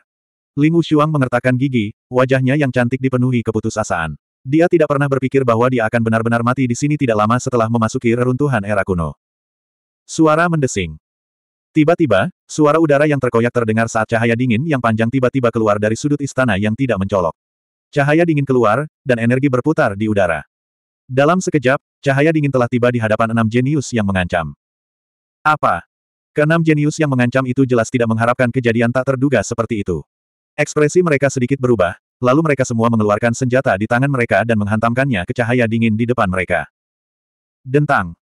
Suara benturan logam terdengar, dan percikan api yang tak terhitung jumlahnya beterbangan di udara, menyilaukan dan menarik perhatian. Setelah itu, keenam orang jenius itu terkejut saat mengetahui bahwa senjata di tangan mereka telah hancur menjadi bubuk. Bagaimana ini mungkin? Keenam orang jenius itu menatap senjata yang hancur di tangan mereka dengan kaget. Mata mereka dipenuhi rasa tidak percaya. Senjata-senjata mereka semuanya adalah harta karun spiritual tingkat tinggi, namun senjata-senjata itu benar-benar hancur saat bersentuhan. Apa sebenarnya cahaya dingin itu? 536. Ledakan, ledakan. Suara benda berat yang jatuh ke tanah perlahan terdengar di dalam istana. Enam orang jenius dari Marquis of Baichuan's House, yang awalnya sombong, semuanya membeku di tempat. Kemudian, Angin sepoi-sepoi bertiup kencang, dan mereka semua jatuh ke tanah, menimbulkan awan debu. Di depan mereka berenam, tombak tulang yang memancarkan cahaya dingin diam-diam dimasukkan ke dalam tanah. Di istana yang agak redup ini, tampak memancarkan cahaya dingin. Siapa? Ketika pemuda botak itu melihat keenam bawahannya terbunuh seketika, pupil matanya mengerut. Dia tiba-tiba melompat di tempat, dan tangan kanannya telah mengeluarkan pedang besar. Pandangannya terfokus pada sudut yang tidak mencolok di belakangnya. Baru saja, dia melihat tombak tulang di istana telah muncul dari sudut ini. Yang membuatnya semakin terkejut adalah aura yang dipancarkan dari tulang tombak itu sangat besar. Ini jelas merupakan aura harta karun jiwa tingkat bumi. Selain itu, itu bukan hanya harta karun jiwa tingkat bumi rendah. Ini karena dia merasa aura tombak tulang bahkan lebih kuat daripada pedang di tangannya. Kita harus tahu bahwa pedang di tangannya adalah harta karun jiwa tingkat bumi rendah yang asli, dan aura tombak tulang itu bahkan lebih kuat daripada pedang besarnya. Setidaknya itu adalah harta karun jiwa peringkat bumi tengah. Dan untuk dapat memiliki harta karun jiwa seperti itu, kekuatan seseorang pasti sebanding dengan para jenius yang menjadi fokus lima kekuatan super untuk dipelihara. Ditambah fakta bahwa tombak tulang itu langsung membunuh keenam bawahannya, pemuda botak itu tentu saja sangat takut pada orang ini. Menginjak, menginjak, menginjak, langkah kaki yang jelas perlahan terdengar di dalam istana. Dalam tatapan pemuda botak itu, sesosok tubuh ramping perlahan muncul. Dia mengenakan jubah hitam, dan rambut pendeknya yang mencapai bahunya berkibar tertiup angin. Pada saat yang sama, tatapan tiga jenius besar kota Lingtian, termasuk Ling Wushuang, terfokus pada sosok ini. Mereka benar-benar ingin tahu siapa yang menyelamatkan mereka dalam situasi tanpa harapan itu. Itu kamu. Saat pandangan pemuda botak itu terfokus pada sosok ini, pupil matanya mengecil sekali lagi, hampir seukuran jarum. Ekspresi kaget muncul di wajahnya. Apa, apakah kamu sangat terkejut melihatku? Sosok ini berdiri tegak dan sedikit mengangkat kepalanya, memperlihatkan wajah yang sedikit halus dan cantik. Zuawan lah yang mengambil tindakan pada saat kritis. Ketika Ling Wushuang dan dua lainnya melihat Zuawan, mereka juga tercengang. Mereka tidak menyangka bahwa orang yang menyelamatkan mereka kali ini adalah Zuawan. Mereka ingat bahwa Zuawan tidak berinteraksi apa pun dengan mereka. Terima kasih, Saudara Zuo, atas bantuan Anda. Kota Lingtian akan mengingat kebaikan ini. Meskipun Ling Wushuang adalah seorang wanita, caranya melakukan sesuatu tidak berbeda dengan pria. Dia tidak ragu sedikit pun. Dia menangkupkan tangannya ke arah Zuawan, dan wajahnya yang gagah berani dipenuhi rasa terima kasih.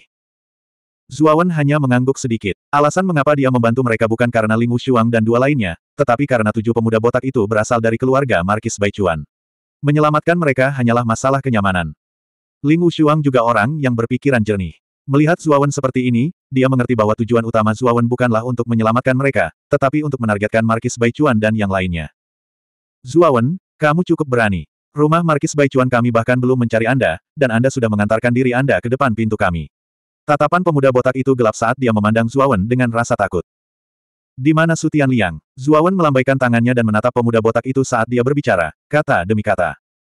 Hehe, putra mahkota pertama bahkan tidak perlu melakukan apa pun untuk berurusan denganmu.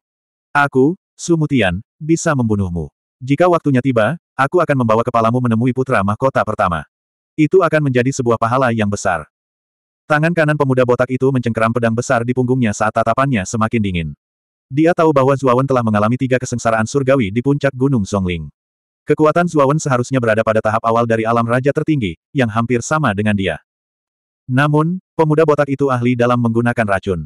Dia percaya bahwa jika dia diam-diam menggunakan racun dalam pertempuran dengan Zuawan, dia pasti bisa membunuh Zuawan. Memikirkan hadiah yang dijanjikan Sutian Liang setelah dia membunuh Zuawan, tatapan pemuda botak itu terhadap Zuawan sudah dipenuhi dengan keserakahan. Zuawan menggelengkan kepalanya, karena kamu sangat ingin mati, jangan salahkan aku karena tidak kenal ampun. Aku, Zuawan, secara pribadi akan menemukan Sutian Liang dan mengambil nyawa anjingnya. Saat dia berbicara, Zuo menghentakkan kakinya, dan aura seperti binatang buas dari zaman kuno tiba-tiba tersapu. Udara di sekitarnya benar-benar mendidih, dan banyak pusaran tak berbentuk terbentuk di sekitar tubuh Zuo Haha, Zuo kamu benar-benar cukup sombong. Karena kamu ingin mengambil nyawa putra mahkota, pada dasarnya kamu. Eh. Pemuda botak itu tidak bisa menahan tawa keras atas bualan Zuawan yang tidak tahu malu. Namun, ketika dia merasakan aura menakutkan dari Zuawan, sisa kata-katanya tersangkut di tenggorokannya. Dia tidak dapat berbicara sama sekali. Dia menatap lekat-lekat ke arah Zuawan saat rasa tidak percaya muncul di wajahnya. Saat ini, aura yang terpancar dari tubuh Zuo Wen justru membuat jiwa dan raganya bergetar. Dia hanya merasakan perasaan seperti itu dari Sutian Liang, tetapi sekarang, aura Zuo Wen tidak lebih lemah dari aura Sutian Liang. Puncak alam raja tertinggi. Bibir pemuda botak itu sedikit bergetar saat dia akhirnya mengucapkan kata-kata ini dengan suara gemetar. Dia tampak seperti baru saja melihat hantu. Tidak jauh dari sana, tatapan Ling Wushuang dan dua lainnya juga tertuju pada tubuh Zuo Wen dengan rasa tidak percaya. Mereka ingat dengan jelas bahwa Zuo Wen baru saja melewati tiga kesengsaraan surgawi belum lama ini di Gunung Songling. Bagaimana dia tiba-tiba mencapai puncak alam raja tertinggi? Bukankah kecepatan ini terlalu cepat? Ling Wushuang dan yang lainnya saling memandang saat pemikiran yang sama muncul di benak mereka. Zuawan benar-benar terlalu mengerikan. Tidak heran dia bisa melampaui Eleve Yitao di peringkat Gunung Songling. Potensinya jauh melampaui apa yang bisa mereka bandingkan. Meneguk. Pemuda botak itu tidak bisa menahan diri untuk tidak menelan ludahnya sambil mundur sedikit. Dia sudah mengutuk dalam hatinya. Dia tidak tahu bagaimana Zuawan berkultivasi. Dia sebenarnya telah mencapai puncak alam raja tertinggi dalam waktu sesingkat itu. Ini bertentangan dengan logika. Kamu ingin lari. Sayangnya, sudah terlambat untuk dijalankan sekarang. Jadilah anak baik dan tinggalkan pikiranmu. Wajah Zuawan dingin dan tanpa emosi. Dia tiba-tiba mengambil langkah ke depan dan menembak seperti anak panah.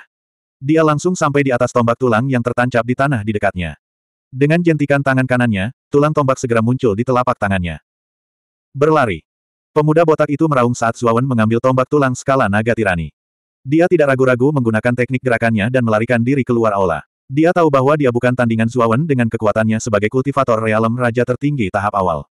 Jika dia tidak lari sekarang, dia pasti akan mati. Aku sudah mengatakannya, sudah terlambat untuk lari sekarang. Zuawan mendengus dingin saat dua pasang sayap petir segera terbentang dari punggungnya. Dengan kepakan sayapnya, Zuawan berubah menjadi sambaran petir dan langsung menghilang dari tempatnya berdiri. Dalam waktu yang dibutuhkan untuk mengambil nafas, dia telah menghalangi jalan pemuda botak yang melarikan diri dengan panik. Kamu, Zuawan, apa yang kamu inginkan? Anda harus tahu konsekuensi menyinggung harta milik Markis of Baichuan. Jika kamu membunuhku, harta milik Markis dari Baichuan tidak akan melepaskanmu, kata pemuda botak itu dengan ketakutan sambil mundur beberapa langkah. Zuawan tidak mau repot-repot membuang-buang napas padanya. Dengan jabat tangan kanannya, tombak tulang skala naga tirani segera berubah menjadi bayangan tombak putih yang tak terhitung jumlahnya. Mereka menghujani pemuda botak itu seperti tetesan air hujan yang tak terhitung jumlahnya. Cahaya ganas melintas di mata pemuda botak itu ketika dia melihat Zuawan benar-benar mengabaikannya.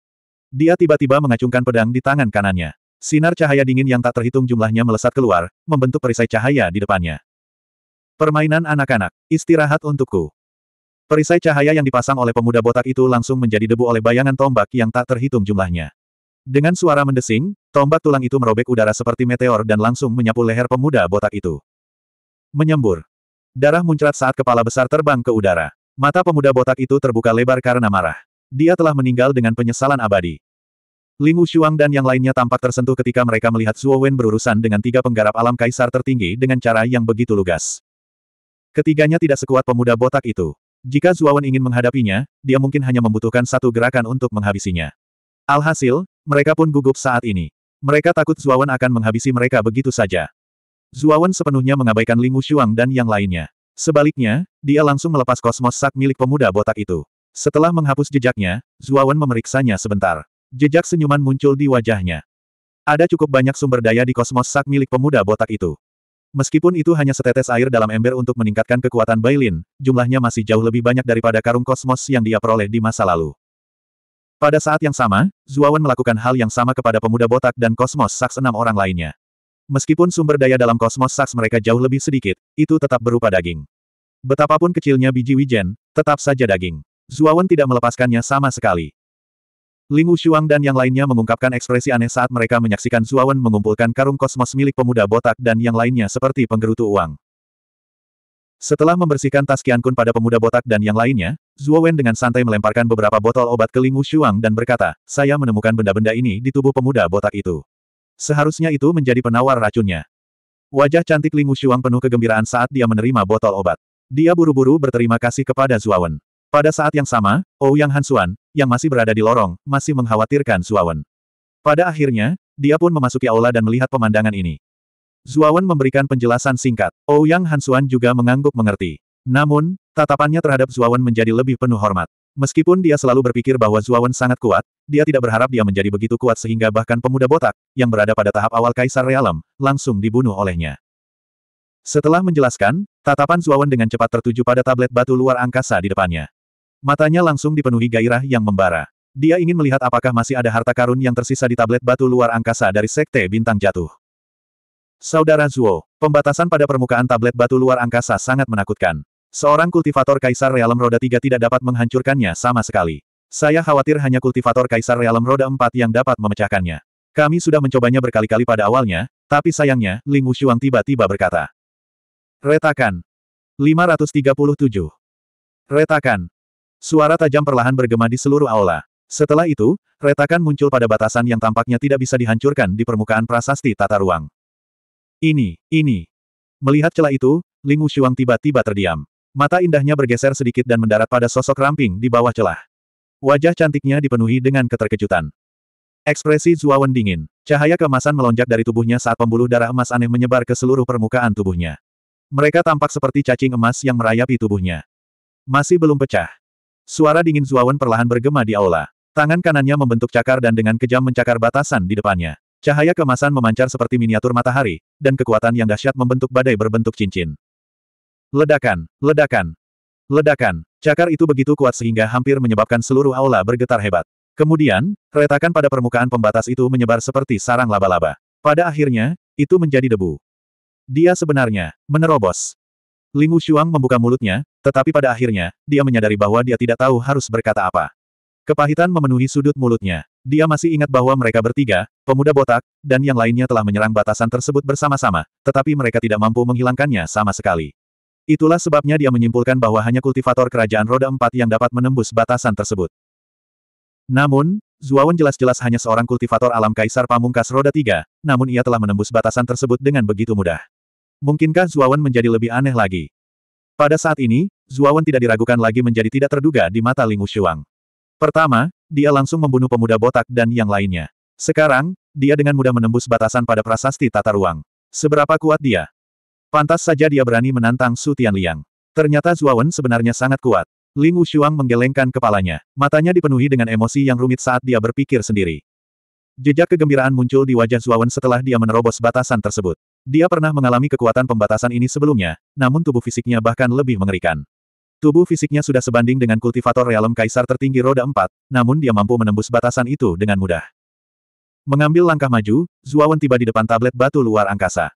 Di permukaan tablet batu luar angkasa, terdapat pusaran hitam. Zuawan tahu bahwa pusaran hitam ini seharusnya menjadi pintu masuk ke tablet batu luar angkasa.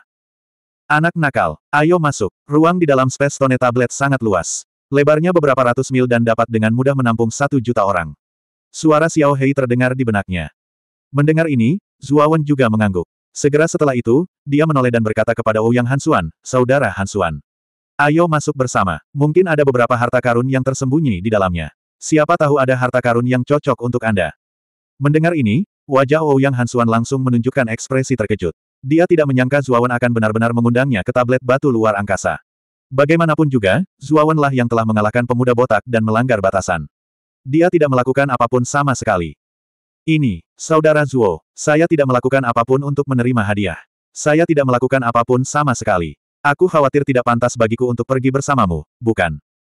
Meskipun Ouyang Hansuan lebih menginginkan harta karun di dalam tablet batu luar angkasa, semuanya diperoleh oleh Zuawan. Dia benar-benar tidak sanggup melakukannya. Namun, Zuawan tersenyum dan berkata, jangan khawatir. Kota batu rusakmu telah banyak membantuku, Zuawan. Sekarang saatnya aku membalas budimu. Anda tidak harus bersikap sopan kepada saya. Ayo masuk. Mendengar kata-kata Zuawan, Ouyang Hansuan dengan canggung mengusap hidungnya. Di bawah tatapan iri dari Ling Wushuang dan dua lainnya, dia mengikuti di belakang Zuawan dan memasuki tablet batu luar angkasa. Ini adalah ruang yang gelap gulita. Di atas angkasa, ada titik cahaya seperti bintang, yang terus berkedip-kedip. Menatap ke langit, pemandangan ini terlalu indah untuk dilihat. Apakah ini bagian dalam tablet batu luar angkasa? Ruangnya cukup besar. Melihat sekeliling yang luas, Ouyang Hansuan tidak bisa menahan diri untuk tidak berseru kagum. Begitu Zuawan memasuki bagian dalam tablet batu luar angkasa, dia segera menginstruksikan Xiao Hei untuk menggunakan rasa ilahinya untuk memindai ruang di sekitarnya untuk melihat apakah ada harta karun lainnya. Lanjutkan ke depan. Xiao Hei tiba-tiba menginstruksikan dalam pikirannya. Mendengar ini, Zuawan segera membawa Ouyang Hansuan ke depan. Setelah menghabiskan waktu yang setara dengan sebatang dupa, mereka berdua dengan cepat melihat bahwa sebenarnya ada sebuah rumah bangsawan di depan mereka. Rumah. Melihat rumah besar di depan mereka, Zuawan dan Ouyang Hansuan tercengang. Mereka tidak menyangka bahwa sebenarnya akan ada rumah buatan manusia di tablet batu luar angkasa. Ayo pergi, ayo masuk dan lihat. Setelah berulang kali berdiskusi dengan Xiao Hei di benaknya, Zuawan segera membawa Ouyang Hansuan ke dalam istana. Saat mereka memasuki istana, pupil mereka menyusut dan mereka tercengang di tempat. Ini, rumah ini sebenarnya adalah taman obat. Ouyang Hansuan membuka mulutnya dan mengeluarkan kata-kata ini setelah sekian lama. Di dalam manor, sejauh mata memandang, ada batang herbal spiritual dengan energi spiritual yang luar biasa. Bahkan udaranya dipenuhi aroma obat yang menyegarkan. Zuawan juga terkejut. Rumah di depan mereka luasnya ratusan hektar. Dengan area yang begitu luas, tempat itu dipenuhi dengan herbal spiritual dengan energi spiritual yang luar biasa. Bahkan dengan tekad kuat Zuawan, dia tidak bisa menahan diri untuk tidak menelan ludah. Dia bahkan melihat beberapa herbal spiritual tingkat 4 dan tingkat 5. Saudara Zuo, sekarang kita, Ouyang Hansuan sangat bersemangat sehingga dia sedikit kehilangan akal. Dia bahkan tergagap ketika berbicara. Sambil menarik napas dalam-dalam, Zuawan dengan tenang berkata, hati-hati. Tidak ada yang tahu apakah ada mekanisme di manor ini. Saat dia berbicara, Zuawan mengambil batu seukuran telapak tangan dari tanah dan meremasnya dengan tangan kanannya. Dengan kilatan cahaya kemasan, batu-batu yang tak terhitung jumlahnya berubah menjadi hujan emas dan tersebar di ratusan hektar taman obat milik istana. Setelah menunggu beberapa saat, tidak ada reaksi dari kebun obat. Tatapan Zuawan tiba-tiba menjadi berapi-api ketika dia berkata, Saudara Hansuan, saya khawatir kita menjadi kaya kali ini. Ambillah sebanyak yang kamu mau. Begitu suaranya turun, mata Zuawan dan Ouyang Hansuan langsung memerah. Mereka bergegas menuju kebun obat di sekitarnya. Ini adalah pertama kalinya mereka melihat begitu banyak herbal spiritual. Bagaimana mungkin mereka tidak bersemangat? Keduanya menjarah dengan kecepatan yang sangat cepat. Mereka terbagi menjadi dua arah dan dengan cepat memetik batang herbal spiritual dari kebun obat. Ouyang Hansuan sangat gila. Selama itu adalah ramuan spiritual, tidak peduli berapa tingkatannya, dia akan memasukkannya ke dalam tas Qiankun miliknya. Namun, Zuawan jauh lebih tenang. Saat dia memetik jamu spiritual, dia tidak bisa memasukkan semuanya ke dalam tas Qiankun miliknya. Sebaliknya, dia secara khusus memilih herbal spiritual kelas 3 ke atas. Rumah ini terlalu besar. Dengan ratusan hektar jamu spiritual, mereka dapat ditumpuk menjadi sebuah gunung kecil. Oleh karena itu, jika mereka tanpa berpikir panjang memasukkan semuanya ke dalam tas Kian Kun miliknya, dengan ruang terbatas di tas Kian Kun miliknya, itu tidak akan cukup. Setelah sekitar satu jam, tas Kian Kun milik Ouyang Hansuan pada dasarnya terisi penuh dengan jamu spiritual. Dia hanya berhenti ketika dia tidak bisa lagi memegang herbal spiritual. Adapun Zuawan, dia jauh lebih berhati-hati daripada Ouyang Hansuan. Setelah dengan hati-hati memilih dan memasukkan semua ramuan spiritual kelas 3 ke atas ke dalam tas Qiankunnya, dia menemukan bahwa masih ada ruang tersisa di tas Qiankunnya. Namun, Zuawan tidak memasukkan jamu spiritual biasa ke dalam tas Qiankunnya seperti Ouyang Hansuan. Bagaimanapun, energi dari ramuan spiritual itu terlalu rendah. Memasukkannya ke dalam tas Qiankun hanya akan memakan tempat. Bagi Zuawan, mereka tidak berguna. Terlebih lagi, reruntuhan kuno ini tidak terbatas pada sekte bintang jatuh, jadi dia tidak akan mengisi tas kian kunnya sepenuhnya. Kalau tidak, ketika dia menemukan hal-hal yang lebih baik, kemungkinan besar tidak akan ada cukup ruang. Saya benar-benar tidak menyangka akan ada istana seperti itu di tablet batu luar angkasa ini. Nilai ramuan spiritual ini mungkin sebanding dengan warisan kota batu rusak kita. Sayangnya tas kian kun saya tidak memiliki cukup ruang, jadi saya hanya dapat mengambil sebagian saja. Ouyang Hansuan melihat banyak ramuan spiritual di sekitarnya, dan wajahnya tiba-tiba menunjukkan sedikit rasa kasihan. Jika tas Qiankun miliknya tidak penuh, dia mungkin akan menjarah semua herbal spiritual di istana ini. Nilai jamu spiritual di tas Qiankunmu sudah tidak murah. Kamu tidak perlu serakah. Zuawan bercanda sambil tersenyum. Ouyang Hansuan juga tersenyum. Zuawan benar, tas Qiankun miliknya penuh dengan berbagai jamu spiritual, dan nilainya mungkin sebanding dengan harta karun roh tingkat bumi. Baginya, ini adalah suatu keberuntungan besar. Ayo pergi. Mari kita terus melihat apakah ada harta karun lainnya di ruang ini. Dengan itu, mereka berdua sekali lagi mencari ruang tersebut. Pada saat yang sama, Zuawan juga terus-menerus berkonsultasi dengan Xiao Hei untuk mengetahui apakah ia menemukan sesuatu. Namun, hasilnya mengecewakan keduanya. Kecuali istana tadi, pada dasarnya tidak ada harta karun yang tersisa di ruang ini. Mereka berdua bahkan mengobrak-abriknya, tetapi mereka tidak menemukan sedikit pun tanda harta karun. Sepertinya hanya istana yang sedikit berharga di Space Stele ini. Saya khawatir tempat lain telah diambil oleh orang-orang dari Sekte Bintang Jatuh. Dan saya kira jamu spiritual di istana ini mungkin belum matang, sehingga orang-orang dari Sekte Bintang Jatuh tidak menyentuh kebun obat. Jadi nyaman bagi kami, Zuawan berkata sambil tersenyum masam.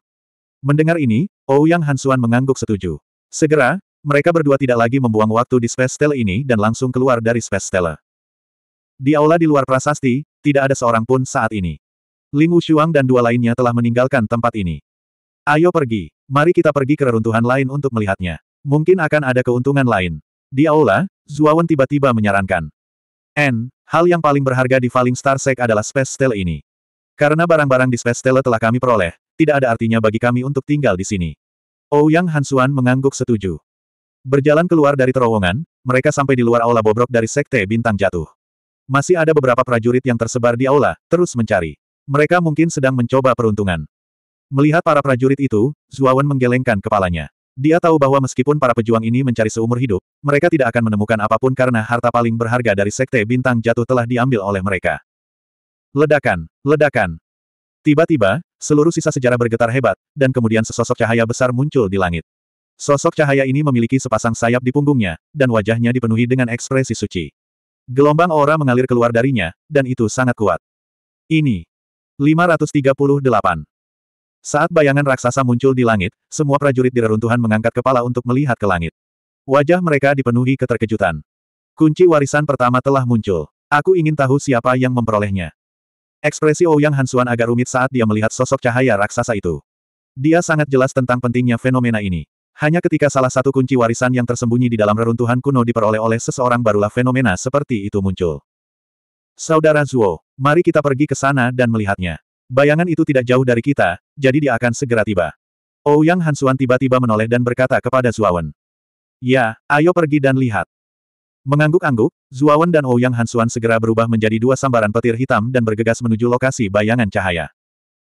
Pada saat yang sama, para penggarap di bagian lain tanah reruntuhan kuno juga memiliki pemikiran yang sama seperti Ouyang Hansuan saat mereka bergegas menuju ke arah sosok yang bersinar itu. Bahkan ada beberapa penggarap dengan niat jahat yang diam-diam bersiap untuk merebut kunci warisan. Suara mendesing, suara mendesing. Ledakan sonik yang tak terhitung jumlahnya tiba-tiba terdengar saat sosok-sosok bergegas keluar dari segala arah. Semuanya bergegas menuju lokasi di mana kunci warisan muncul. Dalam sekejap, sosok hitam menutupi seluruh ruangan. Pemandangan yang cukup spektakuler. Ini adalah cekungan alami, dan di tengah cekungan itu berdiri sebuah patung batu yang megah. Patung batu itu bergambar seorang pria parubaya yang memegang pedang di kedua tangannya. Dia memiliki penampilan yang bermartabat, alis yang tajam, dan mata yang cerah. Pada saat ini, sosok dengan ekspresi acuh tak acuh berdiri di punggung tangan patung batu raksasa itu. Jubah putihnya berkibar tertiup angin, membuatnya tampak anggun dan tak terkendali. Ketika para penggarap lain di sekitarnya tiba di Baskom, terutama setelah melihat sosok di patung batu tersebut, mereka semua terkejut. Segera, wajah mereka menunjukkan ekspresi malu. Sosok ini tidak lain adalah orang jenius nomor satu di Kabupaten Mukin, LV Itao. Pada saat ini, LV Itao sedang memegang kunci yang memancarkan cahaya putih menyilaukan. Jelas sekali, itulah yang disebut kunci warisan.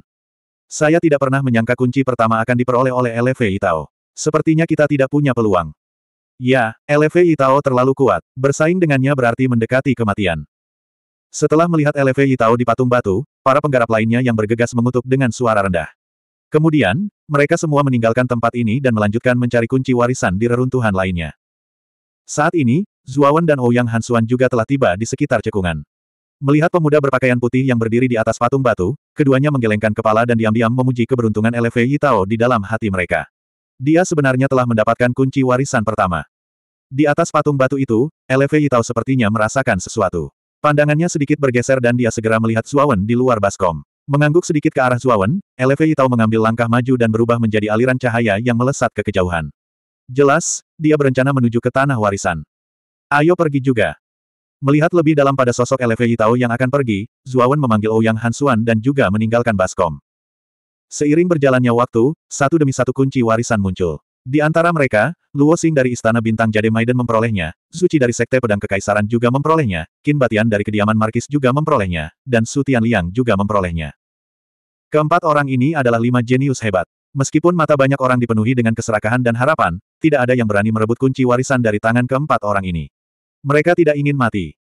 Selain lima jenius besar yang memperoleh kunci warisan masing-masing, tiga kunci lainnya diperoleh oleh tiga jenius dari kota super lainnya, termasuk Ling Wushuang dari kota Lingtian. Ketiga orang ini sangat pintar. Mereka semua tahu bahwa kekuatan dan prestise mereka tidak sebanding dengan lima jenius super, jadi setelah mendapatkan kunci warisan, mereka segera melarikan diri secepat mungkin, menghindari kepungan para penggarap di sekitarnya. Di sisi lain, keberuntungan Zuo Wen dan Ouyang Hansuan sangat buruk. Mereka telah mengobrak-abrik banyak peninggalan kuno. Meskipun mereka telah memperoleh cukup banyak sumber daya, mereka tidak dapat memperoleh kunci warisan. Hal ini menyebabkan mereka berdua menjadi agak cemas. Delapan kunci warisan telah muncul. Sekarang, hanya tersisa dua kunci. Jika orang lain mendapatkannya lebih dulu, saudara Zuo, bukankah begitu? Ouyang Hansuan juga agak mencemaskan Zuawan. Dia sangat jelas tentang kekuatan Zuawan. Dia benar-benar sebanding dengan lima jenius hebat. Jika dia mendapatkan kunci warisan, kemungkinan besar dia akan mendapatkan warisan kuno. Namun sayang sekali surga tidak mengabulkan keinginan mereka. Mereka berdua telah mencari dengan susah payah, namun mereka masih belum memiliki petunjuk sedikit pun tentang kunci warisan. Hal ini membuat mereka berdua agak kecewa. Ledakan. Tiba-tiba, Bayangan cahaya besar lainnya muncul tidak jauh dari Zuo Wen dan Ouyang Hansuan. Itu seperti matahari kecil. Kunci warisan kesembilan telah muncul. Saudara Zuo, tempat itu tidak jauh dari kita. Mari kita pergi ke sana dan melihatnya. Mungkin kita bisa merebutnya. Wajah Ouyang Hansuan segera menunjukkan sedikit kegembiraan. Mata Zuawan juga menunjukkan sedikit cahaya. Dia bertekad untuk mendapatkan kunci warisan. Kali ini, bahkan jika dia harus merebutnya, dia akan mendapatkannya. Kalau tidak, dia bahkan tidak akan bisa memasuki tanah warisan. Ayo pergi. Keduanya segera berubah menjadi dua aliran cahaya dan bergegas menuju bayangan cahaya tidak jauh dari sana. Saat ini, bayangan cahaya terletak di reruntuhan aula yang agak ditinggalkan.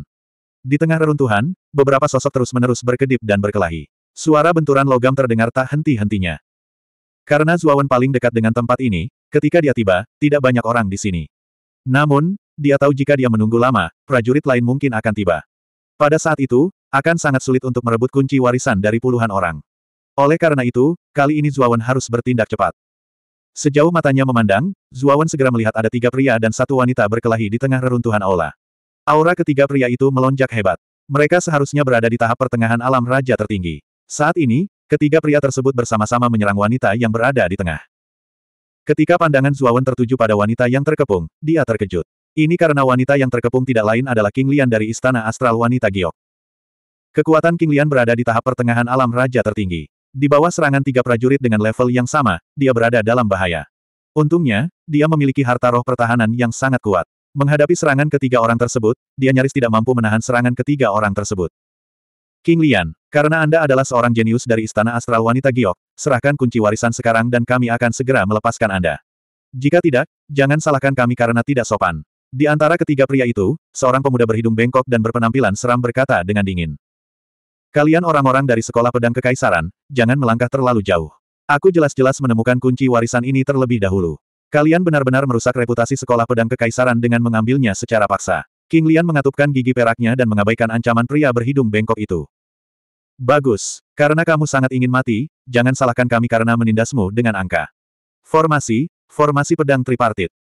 Pria berhidung bengkok itu mencibir. Tiba-tiba, pedang panjang di tangan mereka berubah menjadi tanda aneh di kehampaan. Kemudian, gelombang pedangki meledak dari ketiganya. Segera, mereka bertiga berdiri di tiga arah berbeda di sekitar King Lian. Tiba-tiba, bayangan pedang yang tak terhitung jumlahnya keluar dari tiga arah. Seperti hujan badai, mereka menyelimuti King Lian di tengahnya. Merasakan bayangan pedang menakutkan di sekelilingnya, wajah cantik King Lian akhirnya berubah.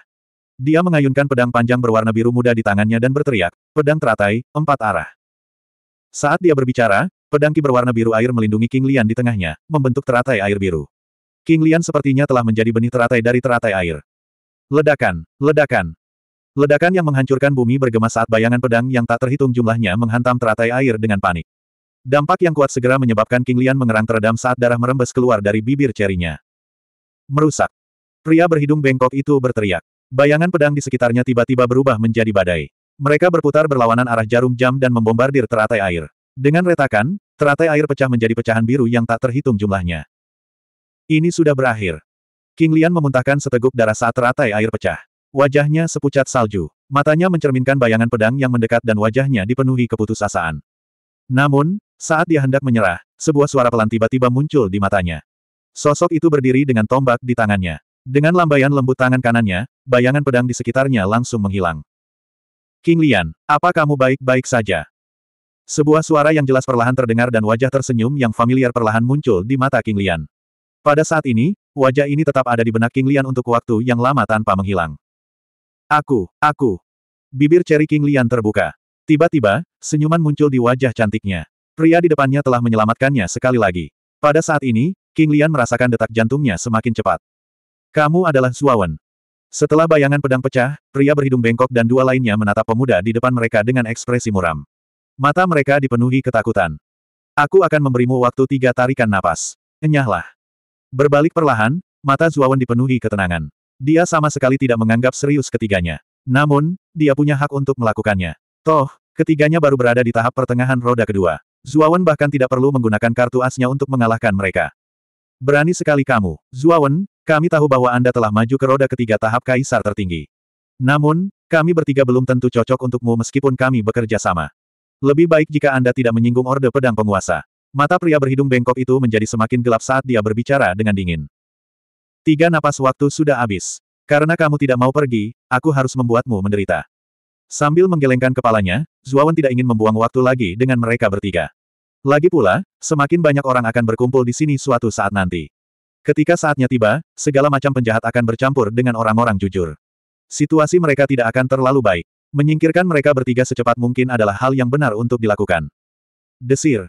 Zuawan menghentakkan kakinya. Seluruh tubuhnya seperti sambaran petir hitam saat dia tiba di hadapan mereka bertiga dalam sekejap.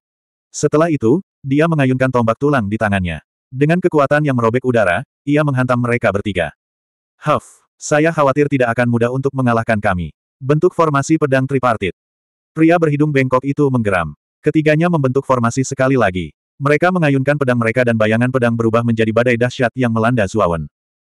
539. Ledakan. Badai besar dari gambar pedang hancur seperti tahu di bawah serangan tombak tulang. Setelah itu, tombak tulang yang melonjak tidak kehilangan momentum sama sekali dan langsung menghantam dada ketiga pria itu. Menyembur. Darah muncrat dengan deras saat ketiga pria itu memuntahkan darah. Wajah mereka sangat pucat saat mereka dikirim terbang sejauh belasan meter. Batuan tersebar ke segala arah saat tanah retak. Aku akan memberimu satu kesempatan terakhir. Jika kamu masih tidak mundur, jangan salahkan aku karena tidak kenal ampun. Mengangkat tombak tulang di tangan kanannya, mata Zuowen dipenuhi dengan niat membunuh yang dingin saat dia mengarahkan ujung tombak ketiga pria di depannya. Mata pemuda berhidung bengkok itu berkedip-kedip saat dia menatap Zuowen dengan sangat ketakutan. Dia tidak pernah membayangkan Zuowen akan sekuat itu. Dia telah menembus serangan gabungan mereka dengan satu serangan. Kekuatannya tidak tampak seperti seorang kultivator yang baru saja menerobos ke roda ketiga alam kaisar tertinggi. Ayo pergi. Setelah hening beberapa saat, pemuda berhidung bengkok itu tetap memilih mundur. Ia tidak ingin kehilangan nyawanya karena kunci warisan. Alhasil, mereka bertiga meninggalkan reruntuhan dalam keadaan menyedihkan. Zuawan, Anda telah menyelamatkan saya lagi. Tiba-tiba, King Lian tiba sebelum Zuawan. Dia mengeluarkan kunci warisan yang berkedip-kedip dan memberikannya kepada Zuawan. Dia berkata, dari kelihatannya, kamu belum memiliki kunci warisan. Ambil kunci ini. Saat ini, Ouyang Hansuan juga telah tiba di sisi Zuawan. Sepotong kejutan muncul di matanya ketika dia melihat bahwa King Lian benar-benar mengambil inisiatif untuk memberikan kunci warisan kepada Zuawan. Namun, dia dengan cepat mengungkapkan senyuman malang yang tidak sesuai dengan temperamennya. Saudara Zuo, Anda harus menerima kebaikan Nona King Lian. Lagi pula, Nona King Lian tidak begitu baik pada semua orang, Cibiro Yang Hansuan. King Lian langsung tersipu saat mendengar kata-kata penuh makna dari Ouyang Hansuan. Dia tampak seperti apel merah yang lembut dan berair, menggoda orang lain untuk menggigitnya. Namun, karena ketidakpercayaan King Lian dan Ouyang Hansuan, Zuawan menggelengkan kepalanya dan berkata, kunci warisan terlalu berharga.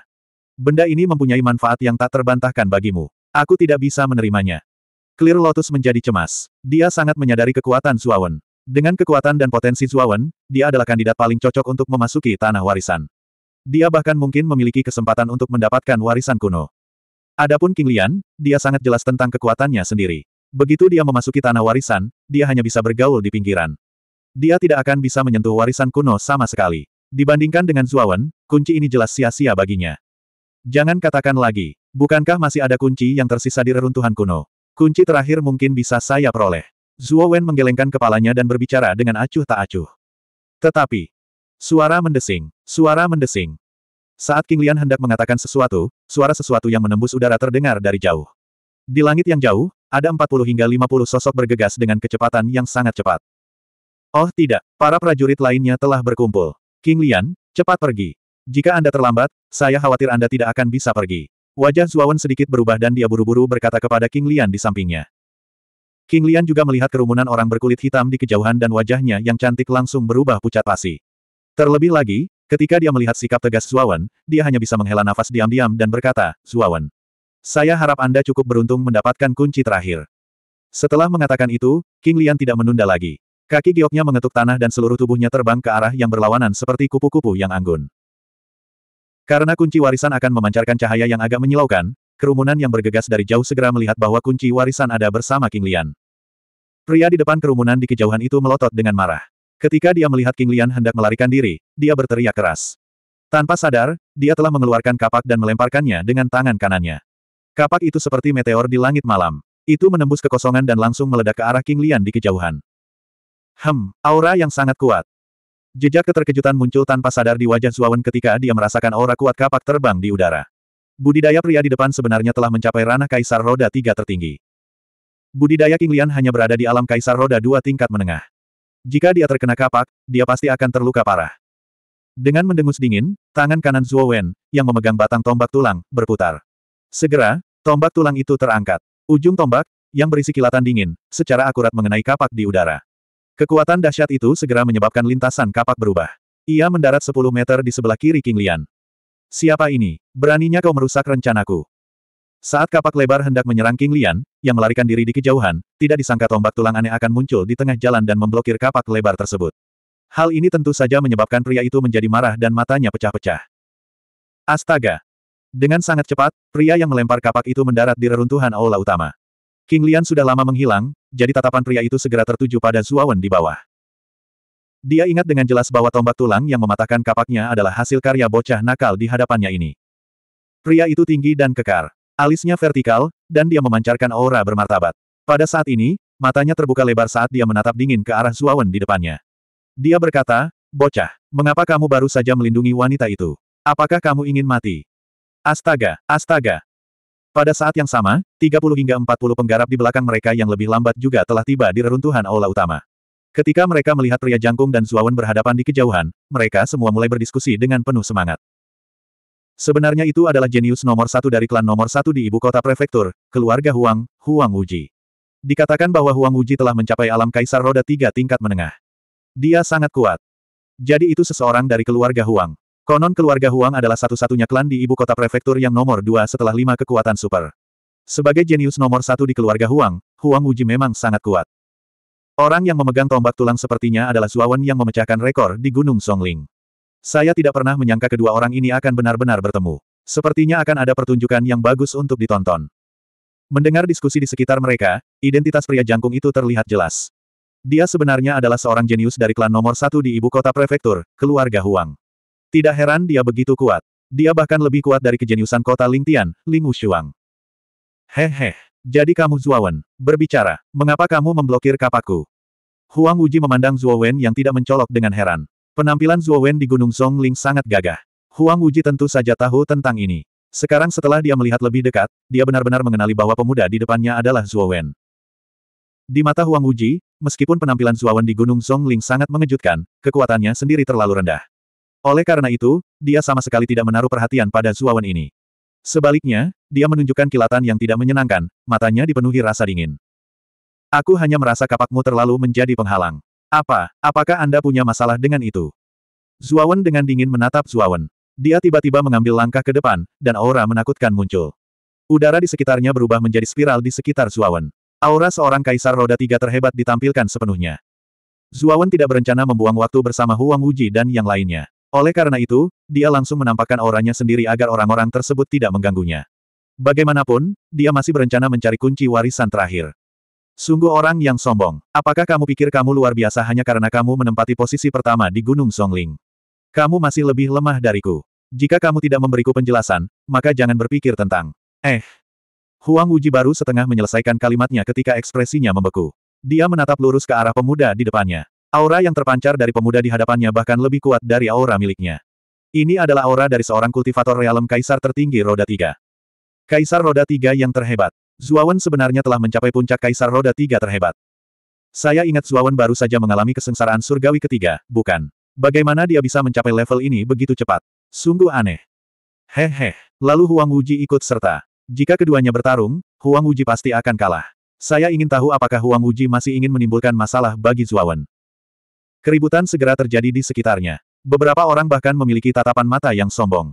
Mereka masih ingat bahwa Huang Wuji berencana memberi pelajaran pada Zuawan. Mereka bertanya-tanya apa yang akan dilakukan Huang Wuji sekarang setelah Zuawan mengungkapkan aura Kaisar Roda Tiga yang terhebat. Jangan pikirkan apa, lanjutkan berbicara. Zuawan sedikit mengangkat kepalanya dan tersenyum tipis. Suaranya yang acuh tak acuh perlahan terdengar di reruntuhan aula. Hati Huang Wuji bergetar saat mendengar ini. Dia sangat ingin menamparkan dirinya sendiri beberapa kali. Dia tidak pernah membayangkan bahwa Zuawan benar-benar akan mencapai puncak Kaisar Roda Tiga terhebat. Bagaimana orang ini berkultivasi? Bagaimana dia bisa begitu cepat? Ekspresi Huang Wuji berubah menjadi lebih buruk ketika dia melihat Zuawan mendekatinya. Dia mundur beberapa langkah dan tertawa canggung, aku hanya bercanda tadi. Saudara Zuo, kamu tidak perlu menganggapnya serius. Hehe. Banyak orang di sekitar menunjukkan ekspresi jijik ketika mereka mendengar kata-kata Huang Wuji. Mereka dalam hati mengutuk Huang Wuji karena menindas yang lemah dan takut pada yang kuat. Meskipun Huang Wuji berkulit tebal, dia masih tidak tahan dengan tatapan menghina dari sekitarnya. Wajahnya terbakar. Namun, Zuawan menggelengkan kepalanya. Dia tidak bisa membuang waktu di sini. Menemukan kunci warisan terakhir lebih penting. Dia perlahan berjalan ke tempat tombak tulang itu tertancap. Pada saat ini, tombak tulang tertancap di batu yang tidak mencolok. Zuawan tidak terlalu memperhatikannya. Dia meraih batang tombak dan menariknya keluar. Yang membuatnya takjub, cahaya putih menyala keluar dari celah batu saat batu itu retak. Pancaran cahayanya menembus langit dan benar-benar membentuk bayangan besar di langit. Itu tampak sakral dan bermartabat. Pada saat yang sama, sebuah kunci yang bersinar perlahan melayang dari celah batu dan akhirnya berhenti di telapak tangan Zuawan. 540. Ini sebenarnya kunci warisan terakhir. Di atas reruntuhan aula besar, pandangan semua orang tertuju pada telapak tangan Zuowen, tempat kunci warisan tergeletak dengan tenang. Segera, napas semua orang menjadi kasar dan berat. Pada saat ini, Zuowen juga tercengang. Dia tidak pernah membayangkan bahwa kunci warisan terakhir sebenarnya disembunyikan di batu yang begitu mencolok. Terlebih lagi, dia tidak pernah membayangkan bahwa dia akan benar-benar menemukannya. Ouyang Hansuan tiba-tiba datang ke sisi Zuawan dan berkata dengan suara rendah, Saudara Zuo, berhati-hatilah. Ada terlalu banyak kultivator di sini. Apalagi ini adalah kunci terakhir. Aku takut orang lain akan menyakitimu. Zuawan baru sadar kembali setelah diingatkan oleh Ouyang Hansuan. Dengan membalikkan tangan kanannya, dia memasukkan kunci warisan ke dalam tas Qian Kun miliknya. Dia mengangkat kepalanya sedikit dan mengamati sekelilingnya. Dia melihat bahwa para penggarap di sekitarnya sebenarnya telah mengelilinginya dan Ouyang Hansuan pada suatu waktu. Mata mereka dipenuhi dengan keserakahan dan keinginan. Setidaknya ada 30 hingga 40 petani di sekitarnya. Selain itu, sebagian besar dari mereka berada di roda kedua alam kaisar tertinggi. Bahkan ada beberapa kultivator realem kaisar tertinggi roda ketiga. Dengan begitu banyak orang yang bekerja bersama, bahkan Zuawan pun akan kesulitan menghadapi mereka. Pada saat ini, Huang Wuji yang awalnya diam tiba-tiba berdiri di depan semua orang dan berteriak, semua orang dapat melihat bahwa kunci warisan terakhir telah jatuh ke tangan Zuawan. Kali ini, kita tidak bisa membiarkan anak ini melarikan diri. Meskipun anak ini adalah kultivator realem kaisar tertinggi roda ketiga, dia masih hanya satu orang. Seperti kata pepatah, dua tinju bukanlah tandingan empat tangan. Bagaimana anak ini bisa menjadi tandingan kita semua? Selama kita bekerja sama dan membunuh anak ini, kepemilikan kuncinya akan bergantung pada kemampuan kita sendiri. Bagaimana kedengarannya? Setelah dia selesai berbicara, mata Huang Wuji dipenuhi dengan rasa dingin saat dia melihat Zuawan di dekatnya. Bahkan ada bekas rasa saden frude di wajahnya. Sebelumnya, Zuawan telah membodohinya di depan semua orang. Ingatan itu masih segar dalam ingatannya. Sekarang dia memiliki kesempatan, dia tentu ingin menyalahkan. Melihat Huang Wuji tiba-tiba menjadi aktif, orang-orang di sekitarnya merasa tidak puas dengannya. Namun, ini bukan waktunya bagi mereka untuk memikirkan masalah ini. Sebaliknya, mereka harus mempertimbangkan untuk bekerja sama untuk mendapatkan kunci warisan dari tangan Zuawan. Zuawan menatap dingin ke arah Huang Wuji keji di depannya. Jejak niat membunuh mulai muncul di hatinya. Awalnya, dia tidak menganggap serius Huang Wuji. Tentu saja, dia tidak tertarik membunuh badut ini. Namun, Huang Wuji sebenarnya secara terbuka mendorong orang lain untuk membunuhnya di depannya. Ini tentu saja membuat suasana hati Zuawan, Zuawan sangat tidak senang. Saudara Hansuan, tempat ini sudah tidak aman lagi, kamu harus meninggalkan menara vitalitas dulu. Zuo Wen tiba-tiba berkata kepada Ouyang Hansuan di sampingnya. Saudara Zuo, berhati-hatilah. Jika kamu bukan tandingannya, yang terbaik adalah meninggalkan menara. Ouyang Hansuan juga tahu bahwa kekuatannya saat ini lemah. Jika dia tetap berada di sisi Zuo Wen, dia hanya akan menjadi beban. Dia menganggukkan kepalanya dan dengan lugas mengeluarkan token identitasnya. Setelah itu, dia berubah menjadi seberkas cahaya dan menghilang dari tempatnya berdiri. Zuawan, serahkan kunci warisan dan kami bisa mengampuni nyawamu. Itu benar, meskipun Anda adalah kaisar roda tiga tertinggi, masih sulit bagi dua tinju untuk bertarung melawan empat tangan. Saya menyarankan Anda untuk menyerahkan kunci warisan. Dengan begitu, penderitaan Anda akan berkurang. Anda hanyalah seorang kultivator dari kota kecil tingkat rendah. Anda tidak memiliki kekuatan atau pengaruh. Menyinggung sekelompok orang seperti kami bukanlah pilihan yang bijaksana. Serahkan kunci warisan. Para pembudidaya di sekitarnya semua menatap Zuawan dengan mata berapi-api seolah-olah mereka sedang menatap makanan lesat. Selain itu, mereka mendekatinya selangkah demi selangkah. Aura mereka meledak secara ekstrim, ingin menekan Zuawan. Hehe, Zuawan, kamu hanya punya dua pilihan sekarang. Serahkan kunci warisan atau mati. Pada saat ini, Huang Wuji juga menjadi tidak takut, seolah-olah dia sudah melupakan adegan dia menunjukkan kelemahan di depan Zuawan. Dentang. Zuawan dengan ringan menjentikkan tombak tulangnya. Suara garingnya seperti auman naga, bergema di tanah datar. Wajahnya tenang saat dia berkata dengan acuh tak acuh, saya tidak akan menyerahkan kunci warisan, dan saya juga tidak akan mati. Karena kamu tidak mau menyerahkannya. Kalau begitu pergilah ke neraka. Semuanya, serang bersama dan habisi Zuawan ini. Jadi bagaimana jika anak ini adalah kaisar roda tiga tertinggi? Di bawah pengepungan kita, hanya kematian yang menunggunya, teriak Huang Wuji, tapi dia tidak menyerang terlebih dahulu. Meskipun masyarakat sekitar meremehkan tindakan Huang Wuji, mereka kini menghadapi musuh bersama, sehingga mereka tidak peduli dengan tindakan kecil Huang Wuji. Masing-masing dari mereka mengeluarkan keterampilan unik mereka sendiri dan menyerang Zuowen. Membunuh. Bunuh Zuowen ini dan ambil kunci warisan. Seketika, semua orang menggunakan gerakannya masing-masing. Untuk sesaat, energi warna-warni tiba-tiba naik ke udara. Seolah-olah pelangi muncul di udara. Ini adalah warna energi yang digunakan oleh berbagai kultivator. Ledakan, ledakan, ledakan. Energi warna-warni yang dibentuk oleh berbagai gerakan sangatlah kuat. Ruang di sekitarnya sudah menunjukkan tanda-tanda runtuh. Aura yang kuat meluap ke segala arah. Topan yang tak terhitung jumlahnya berputar dan berdesir saat menyerang. Aura energi lima warna bahkan menyebabkan orang-orang di sekitarnya merasakan sedikit ketakutan. Mereka tidak pernah membayangkan bahwa energi lima warna aneh yang dibentuk oleh gerakan acak mereka akan menjadi begitu kuat. Mungkin bahkan seorang kultivator realem kaisar tertinggi roda empat biasa tidak akan mampu menahannya. Energi yang sangat kuat, Zuawan ini mungkin sudah mati. Pikiran ini terlintas di benak setiap orang. Mereka semua bisa merasakan kekuatan energi ini. Untunglah Zuawan ini mati. Dia membodohiku, Huang Wuji, jadi dia harus bersiap untuk mati. Hehe. Huang Wuji, yang tidak jauh dari sana, memasang ekspresi puas di wajahnya. Dia memandang Zuawan seolah sedang melihat orang mati. Dia tidak percaya Zuawan punya peluang untuk selamat dari serangan sekuat itu. Pada saat ini, Zuawan, yang berada di bawah energi warna-warni, memiliki ekspresi serius yang langka di wajahnya. Dia tidak menyangka bahwa gabungan energi dari 30 hingga 40 kultivator di sekitarnya akan begitu menakutkan. Tingkat energi ini cukup untuk mengancam seorang kaisar roda empat terhebat. Huff, majulah dan naga sombong itu akan menyesal. Mundur dan tisel akan tumbuh. Gaya naga sombong, hancurkan aku. Melangkah ke depan, Zuawan mencengkeram tombak tulang skala naga tirani dengan kedua tangannya. Tombak itu miring dari atas ke bawah saat kaki kanannya mendorong ke depan. Aura yang sangat kuat meledak. Seolah-olah Zuawan dan tombak tulang skala naga tirani telah menjadi satu. Raungan naga yang menggema bergema di atas reruntuhan. Kemudian, ruang di belakang Zuawan retak. Kepala naga sebesar gunung jatuh dari celah angkasa. Untaian naga ki yang tak terhitung jumlahnya seperti angin kencang yang merobek ruang dan merobek udara. Kepala naga sebesar gunung membuka mulutnya yang ganas dan menghantam energi warna-warni di langit. Saat keduanya bertabrakan, ledakan yang menggemparkan bumi terus terdengar. Gelombang udara berbentuk cincin yang tak terhitung jumlahnya menyebar ke segala arah. Ruangan itu seperti kaca, langsung runtuh dan pecah. Langkah yang sangat kuat, tapi itu masih belum cukup untuk menembus serangan gabungan kami. Ekspresi orang-orang di sekitarnya berubah ketika mereka melihat betapa kuatnya gaya naga sombong Zuawan. Mereka buru-buru meningkatkan keluaran Yuan Qi mereka. Seketika, energi warna-warni di langit menghancurkan kepala naga itu. Huff, kilatan dingin datang lebih dulu. Kemudian, tombak itu menyerang seperti seekor naga. Menundukkan gaya naga, ayolah. Momentum tombak Zuawan tidak berubah. Dia mengayunkan tombak tulangnya dan segera mengeksekusi gerakan kedua dari tombak tulang skala naga tirani, gaya menaklukkan naga. Tiba-tiba, auman naga memenuhi langit. Seekor naga melingkar perlahan muncul dengan Zuawan di tengahnya. Zuawan bahkan bisa melihat sisik naga ganas di tubuh naga melingkar itu. Mereka mempesona dan melotot di bawah cahaya. Jurus menundukkan naga adalah jurus bertahan.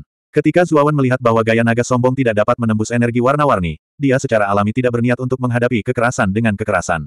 Selama dia bertahan melawan energi warna-warni, orang-orang di sekitarnya pasti akan mengungkapkan kelemahan mereka. Bagaimanapun, semua orang telah melakukan gerakan terkuat mereka. Tubuh mereka pasti kosong pada saat itu. Ledakan. Energi warna-warni akhirnya menghantam naga yang melingkar itu. Raungan naga dan suara ledakan terdengar terus-menerus. Gelombang udara yang tak terhitung jumlahnya berputar ke segala arah, menyapu debu. Itu adalah pemandangan yang menakutkan. Orang-orang di sekitarnya mundur satu demi satu karena gelombang udara. Pandangan mereka terfokus pada pusat ledakan. Mereka ingin melihat apakah Zuawan akan mati secara tragis akibat ledakan seperti itu.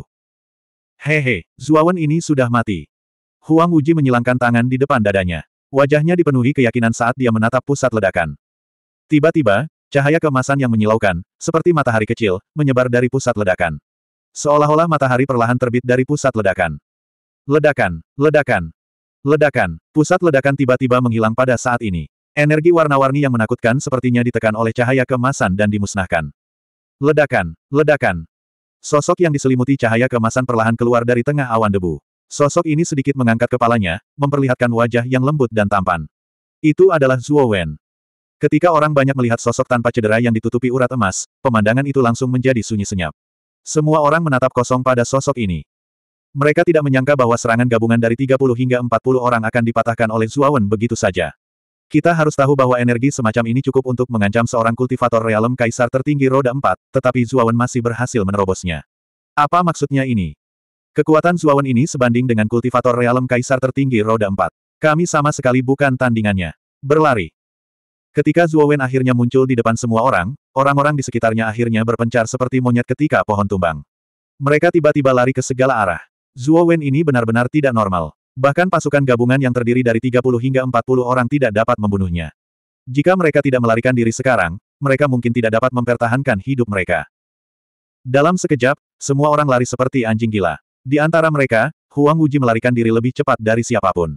Saat ini, dia sudah berada 100 mil jauhnya.